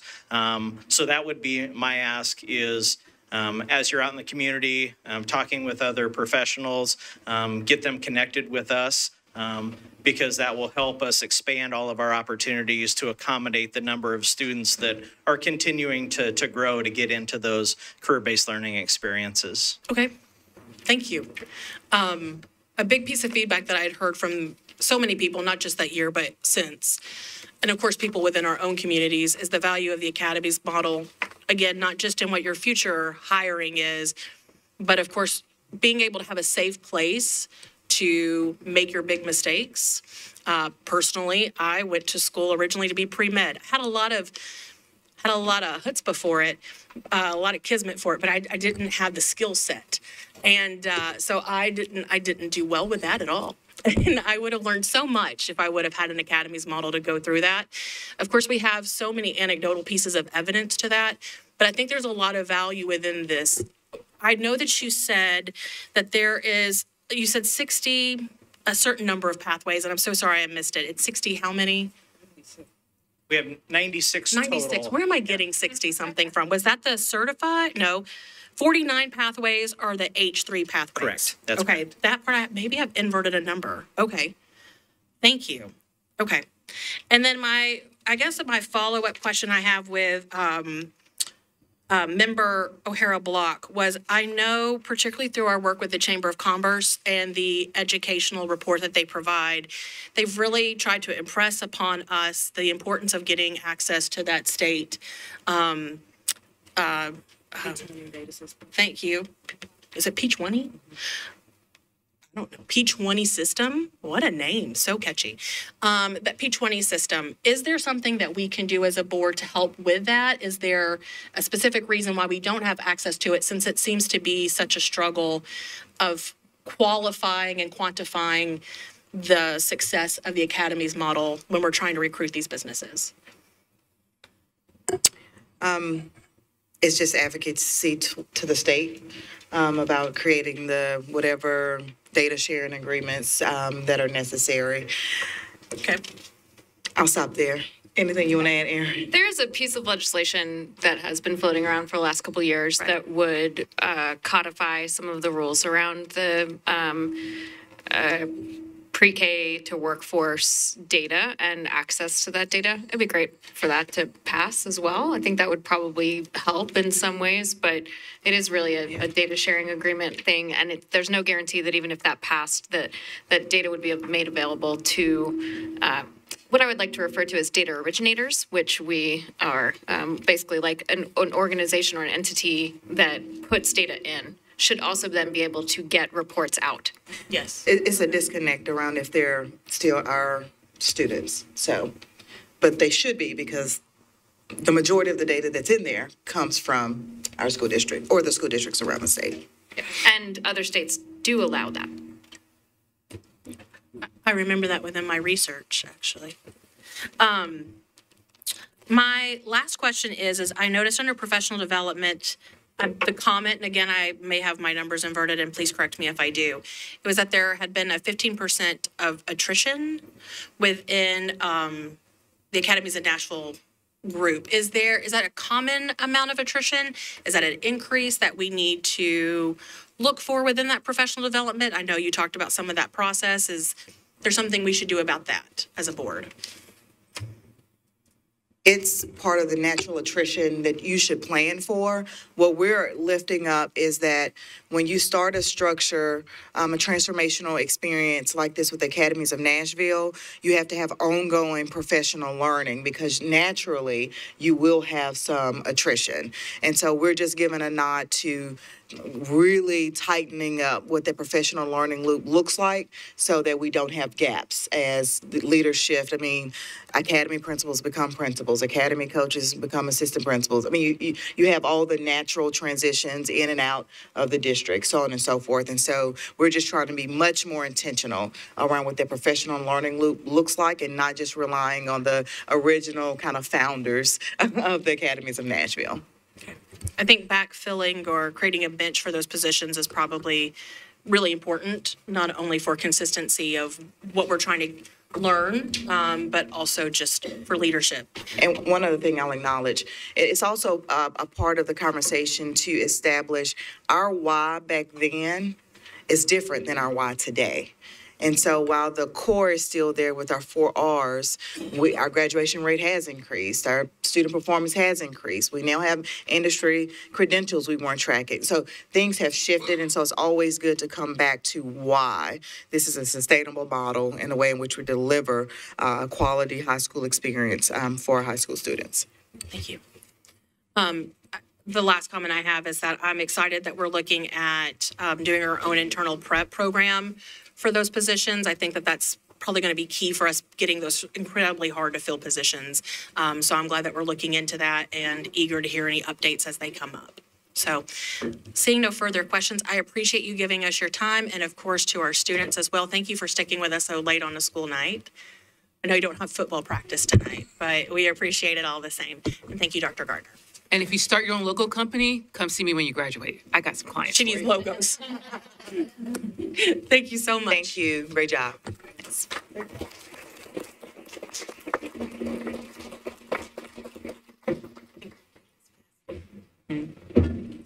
All right, while we're pulling this up, that gets us to public participation. So let me get my things in order. All right, up on the screen surrounding our building, we have our list of persons that have signed up for public participation this evening. Um, These stakeholders have signed up to speak. And um, you can find your list on the screen. Uh, Please be aware of when you're being called up. Instead of calling out names, I'm just going to ask that you look for your name and kind of get in queue as you can.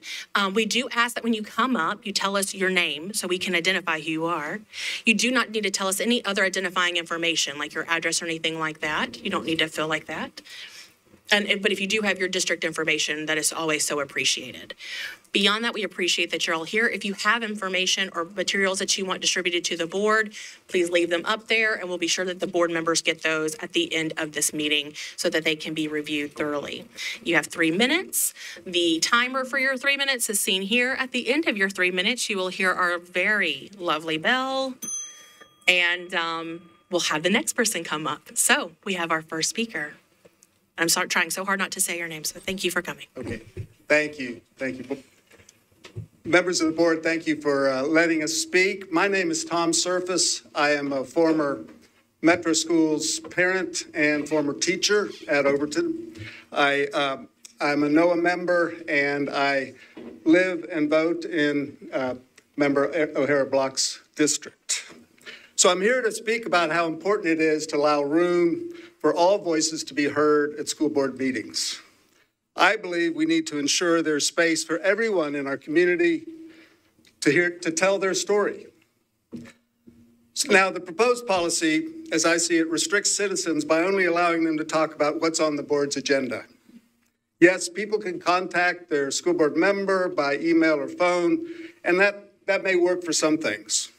But there's stories that need to be told in a public forum and heard by the whole board. How will you hear, for instance, about the single parent struggling to get her three kids off to three different schools in the morning? You think it's important to be able to look into her face as she tells her story? What about educators and support staff? Doesn't the board need to hear those voices? The stories, complaints, ideas from all stakeholders should be spoken and listened to in this room. It's a key part of providing the best education for our kids. So the policy changed March of 2022, as I understand it, two, about two years ago, um, which ended up dropping. The result was dropping public participation in meetings, these meetings, by 70% in just one year. These proposed policy changes, which I understand now are maybe in a state of flux, um, look like they will further limit the ability to participate democratically at school board meetings. Is that really what this school board wants? When you cut off the public from the life of school policy making, you risk eroding trust and confidence, further adding to a public narrative that paints public education in a negative light. Being able to easily speak at school board meetings is central to modeling the democracy we want to see for our kids one where people participate and don't disengage. I ask that you open things up to allow diverse communities, people, thoughts, ideas, opinions. I'm so very grateful for the good work done by this school board. Thank you so much for your dedication and commitment. Please consider further revisions to the public participation policy, and I'll be here April 9th. Thank you. Thank you. Our second person?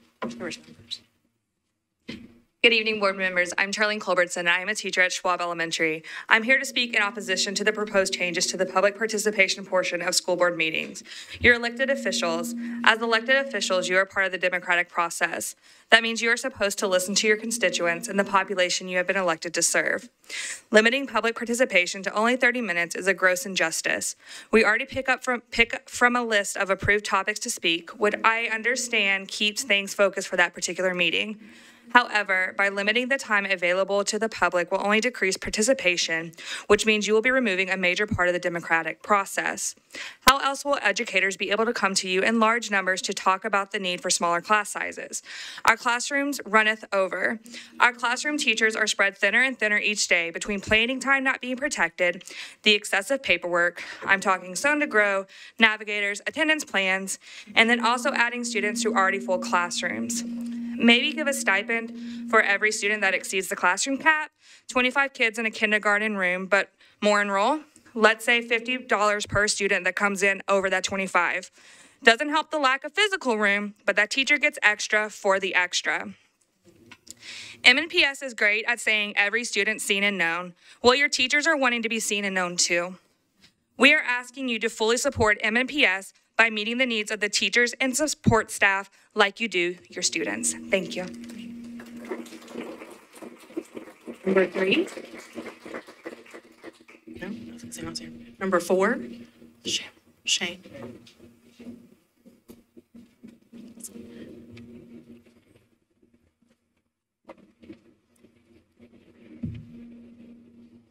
Good evening, school board members and district leaders. My name is Shane Moore. I work at DuPont Hadley Middle School and I live in District 3. I'm also the MNEA Advocacy Committee co-chair. I am here tonight to voice concerns over changes in the rules that would limit community participation. I believe that government institutions should find a way to increase community voice rather than limit it. Limiting community participation would not allow school board members to be informed of issues pertinent to the lives of educators, students, and their families. One such issue I will speak to tonight. Educators recently responded to an issues survey that was given by MNEA, asking them to identify their top concerns. The number one issue continues to be teacher pay and livability.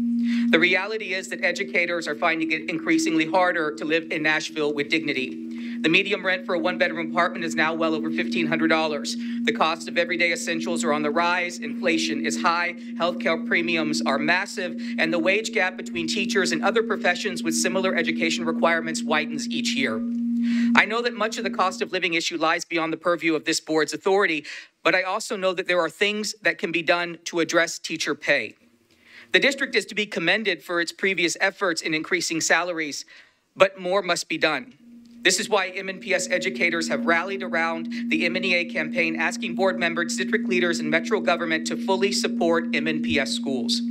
As part of this campaign, we are asking for respectful compensation. A budget that does not address the needs to significantly raise teacher pay to a dignified, livable wage will not be viewed as respectful compensation. Teachers' pay Pay increase should seek to close the wage gap, increase COLA to a level that addresses inflation on top of the additional 2% that we were left out of last year, and increase the district's contribution to healthcare premiums in order to offset the rising costs for educators. I ask that you reject a budget proposal that does not address these issues, as we will not consider a budget that does not significantly raise teacher pay as respectful compensation. We ask that you work with the mayor and Metro Council to address the livability issues this city has for its educators. It can't be enough to be the highest paid in the state if teachers struggle to make ends meet. I drive to work every morning and I see new homes being built. I see the development of condos that touch the clouds, and all I can think is, I can't afford that. No chance I'll ever live there. Finally, I want to pose a few questions to the board to consider when they are looking at teacher pay. Currently, can a new teacher afford to live in the community they serve? Can a five or 10 year teacher afford to live in Nashville? Can an MNPS teacher afford to buy a home or raise a family in Nashville? I respectfully ask that you work with Metro government and continue to significantly increase the salaries of teachers. A city is judged by how it treats its teachers. Please fully support MNPS schools by ensuring respectful compensation. Thank you. Thank you. One moment, please. I want to make sure that's not an unusual fire alarm. Do we know what the sound was? It came, it came from our wrestling counter? Okay, thank you. The counter is made. Thank you so much. I am, I am, I am apologetic. Um, Ms. Holt, will you turn yours off and turn it back on? The microphone? No, that's not. It's always on. Never mind. Sorry, the team is out. Never mind, Ms. Holt, they're working on it. Can you hear me? We can hear you. Thank you so much. Your, I will start your time. I'm so sorry. That's okay. Thank you. Appreciate it. So, greetings, board members. My name is Lynn Hoyt. I'm a former MNPS parent and NOAA member. I live in Board Tylor's district. And I'm here to speak on our need to make public participation in board meetings easier, not harder. I want you all to know how much I appreciate and admire the work you do for our schools. I also believe many of you got your start advocating at this podium, taking a stand and speaking up, making our schools better. You all have run campaigns on making our schools better, and the opportunity to receive feedback or even criticism will help continue to make our schools better. I hope you will receive this feedback with that spirit. The current proposed policy on public participation, I feel is inequitable. It sets unfair limits and barriers and does not align to the mission of the school district, which I, which I quote, collaboration. We believe engaging parents, community members, students, and other stakeholders in the educational process leads to better outcomes for all our students and benefits the broader Nashville community. I believe that too. I think it is important to hear from everyone with an open, easy, transparent policy that gives you decorum, the decorum you desire and that you deserve in these meetings, while providing the opportunity to receive feedback for citizens, parents, and teachers and students to be heard and to feel welcome. The new policy is not welcoming. It says you only give us 30 minutes of board time. We need more, not less. Even if you increase the allowable time by 15 minutes, you're increasing the dialogue by 50%. Another idea might be to uh, do open forums during the school year um, and, and not tie it to an agenda. The real key is that we feel listened to by you, that we feel heard. Every student heard, every student seen. That you are created public trust, fairness, and an opportunity for the public to share their concerns, to exercise their democratic right to petition the government with their grievances. Y'all, we've had enough silencing, dragnet, and barriers created by our state legislature and I trust this board doesn't want to appear to be like them. But this newly proposed policy makes it harder to, to, to participate. I landed on a periodical recently called Constellations, an international journal of critical and democratic theory, kind of geeky. And it discussed that having a causal public people influence in debate on lawmaking and policy is not demanding enough for the ideal of democracy. Being challenged by discussion and debate makes you better. And that's the thinking behind my desire as a NOAA member to exercise my public participation easily. So I look forward to the future revisions to the public participation policy with the hope that they increase the voices in the room. Thank you for the work you do for our students and our teachers. Thank you.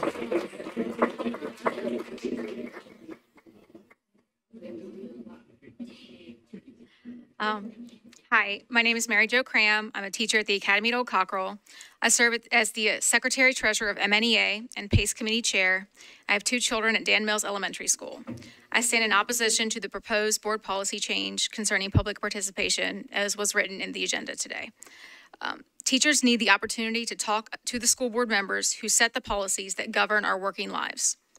For example, we need to tell you how important our planning time is for our health and sanity, and how it affects us when we lose that time to, to meetings, subbing, and other administrative demands. Teachers need a chance to inform the school board about the excessive, redundant paperwork we're, we are required to do. And simply speaking with board members privately or by email is not enough. We need to register our support or disagreement with district policies and practices in public, because that is how democracy works. We need to make sure everybody knows what is going on in our schools, and speaking here at the school board is an important way for us to do that. Simply allowing 10 minutes or 10 teachers to speak for a total of 30 minutes during a board meeting is not enough. MNEA is a union, and that means our power comes from our numbers. Here at the school board meeting, we have we can show up in mass and present speaker after speaker, all talking about the importance of planning time, for example. And through our sheer number, we can demonstrate that this is not just an issue in one school, but it's widely felt throughout the whole district. When you limit the number of speakers we can put forward in a public forum, you stifle our voice. To end on a positive note, I'd like to tell you about MNEA's recent town hall with Mayor Freddie O'Connell. Instead of us asking him questions, he asked us what we would like him to, to know about the school system and how he can support us. He showed us that he understands that leadership requires listening. I hope the school, school board will learn from Mayor O'Connell's example. Please su- fully support MNPS by protecting planning time and public participation. Thank you. Thank you. That gets us to number eight. All right, here we go. Good evening, Dr. Adrienne Battle, Chair Elrod, and members of the board. I hope you all had an incredible spring break and are looking forward to a successful fourth quarter. I, Sophia Payne, a senior at Hillsboro High School and one of the leaders of Sunrise Hillsboro, had a remarkable week off and am eager to finish these last seven weeks strong by collaborating with you all on a promising Earth Day resolution. Today, I wanted to begin my three minutes of public comment by discussing my previous experience with giving public comment. A bit ironic, isn't it? In the past, I have skimmed through the upcoming meeting agenda for contracts that are semi related to the environmental topics I would like to speak on. Then, I have tried searching for each contract in the Metro Clerk Contract Search portal. Later, I usually investigate any contracts that I need more information on before registering to speak through the online form on whichever contract is the most relevant. This time, I wanted to speak on the importance of assisting students in when climate disasters strike in the context of the impacts of anthropogenic climate change that we are already seeing and the inequalities in who those impacts most affect. Anthropogenic climate change is a very real issue and is a major concern for many MNPS students. Globally, the mean temperature has increased, and the less, last 10 years have been the hottest on record. In Nashville alone, there have been more prolonged drought periods and more powerful storms as well. Overall, though, anthropogenic climate change is and will continue to shift biomes, agriculture, number and diversity of species, ecological services, ocean pH, sea levels, and human health. Yet, the school board policy states that individuals wishing to address the board must register for an item already on the agenda. I have tried my best to relate my speeches to agenda matters. However, it can be quite difficult to do so. To demonstrate, I have noticed that it is hard to find information about said contracts through the Metro Clerk Contract Search Portal, Google, and the agenda itself. I recently realized the, the Metro Clerk Contract Search Portal only includes contracts that have already been passed. Considering these challenges for student constituents like myself, might I suggest the MNPS School Board open public comment for students and parents to speak freely regarding their concerns, or possibly adding more detail to contact, contract descriptions on the meeting agenda that is comparable to what school board members receive? Or adding contracts under consideration to the Metro Clerk Contract Search portal only then will students be able to share their concerns in a more equitable manner that does not bar individuals that do not have the same research background I have, thanks to my roots at the SSMV. I appreciate your support on our initiatives and am grateful for everything you do to keep our school district running smoothly. Thank you, Sophia Rose. All right. Okay. She also has a double name. As somebody that also has a double name that's never recognized, thank you, Sophia Rose. All right. um, that gets us to our govern. That gets us uh, to the end of public participation. Thank you so much, and for um, sitting with us during the mic issues. Thank you all for fixing them. That was pretty quick resolution. I appreciate that. And we will get to the alarming fire alarm sound that comes from there.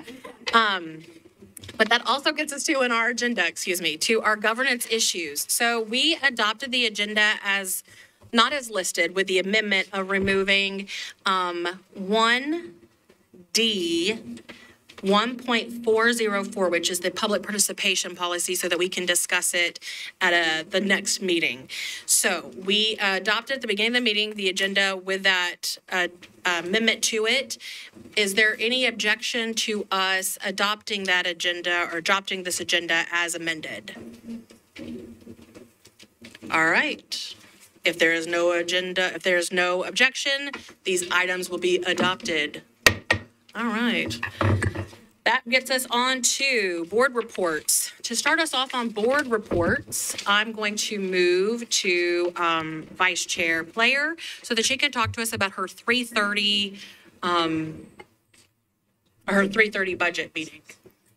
Uh, we had a budget meeting at three thirty, um, and we gave the initial presentation of our budget. Um, this will be a first in a series of budget meetings, um, to discuss and to present and eventually vote on, um, our budget that we present to Mayor O'Connell. Um, so he can file, by a timely manner, so he can file by May first, uh, which would then be presented to the council, um, for consideration. So I would like to also, um, let everyone know that we will have a community uh, budget meeting on April 1st at 5:30 at the Martin Professional Center. April 1st, 5:30 at the Martin uh, Professional Center. So please come out and learn more about our budget. Thank you. Thank you. That gets us to our 4:15-ish committee that we had for governance. And for that, I'll give um, Chair of Governance, Emily Masters, the floor. Thank you. We had a governance committee meeting and we passed some sort of, some cleanup policies. Um, we passed a new, um, conflict of interest policy. And I think, um, Board Member Gentry, if you wanted, I know you mentioned maybe wanting to add a little bit more to that. So if we want to talk, talk about getting that together for April 9th meeting, we could do that. Could just keep on going with it. We'll She's- follow up with you like, with your face. Yeah. Um, yeah, conflict of interest. That, yeah, yeah. Think it's a new policy. It's not expanding that one, but a new policy that talks about, the, the, the- well, no, it's looking at the policy about our board members' engagement in schools. That's it. And how we conduct ourselves. If you would send that to Dr. Severe I will send that to and Dr. Severe. me, we'll get it cranking. Thank you. And we're just gonna knock out all kinds of stuff on April 9th.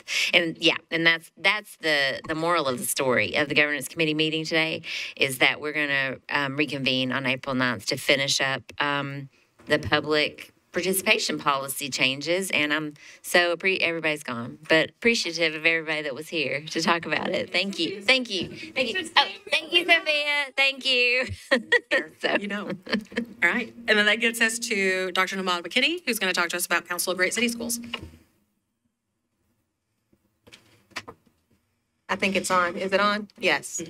Um, so Dr. Battle, Dr. Renita Perry, is she Dr. E? Yes. She's ABD.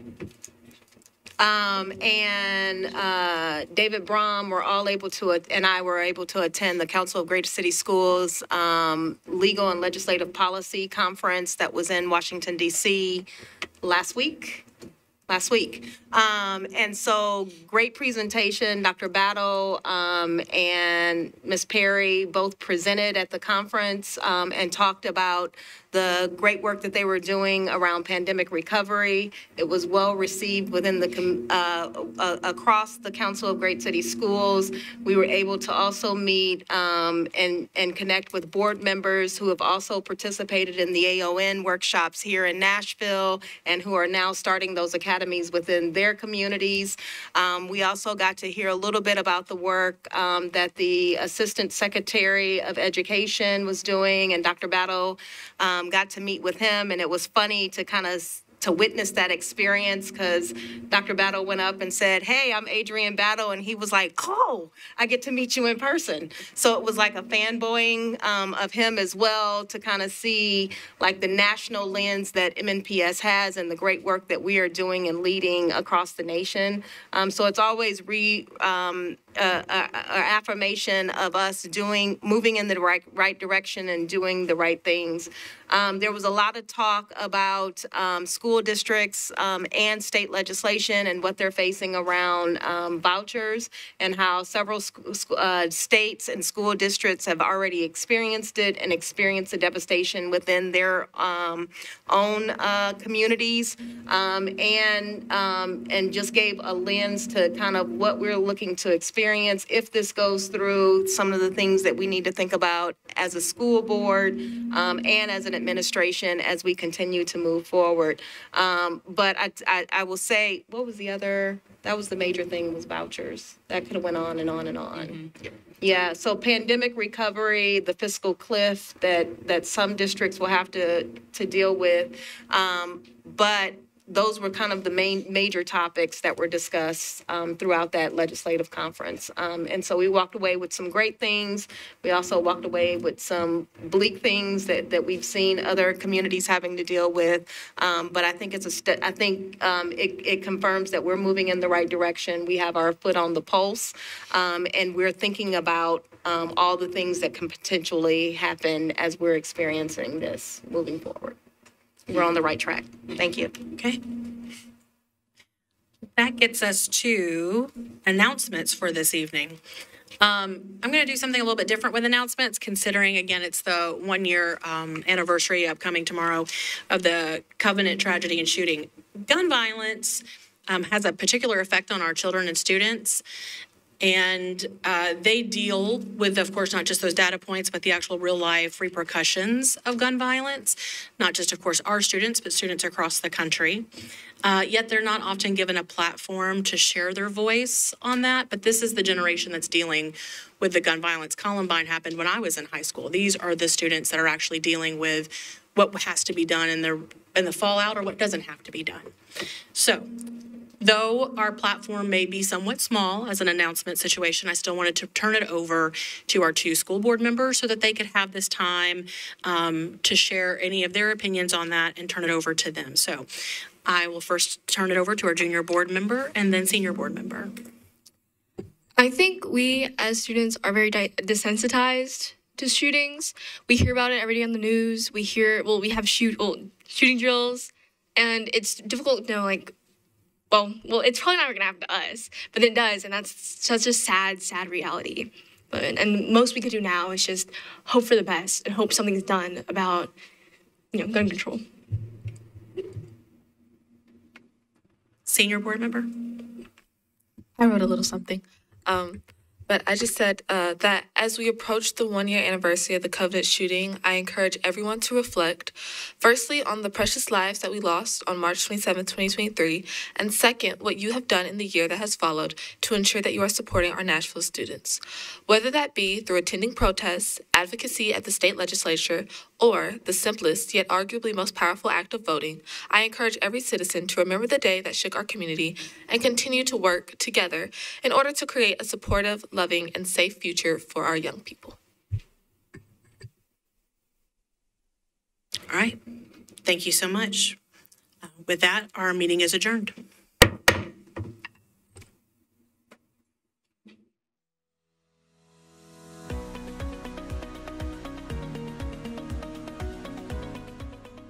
This has been a service of the Metro Nashville Network. If you would like to see this presentation again, or for more information on this and other programs, visit nashville.gov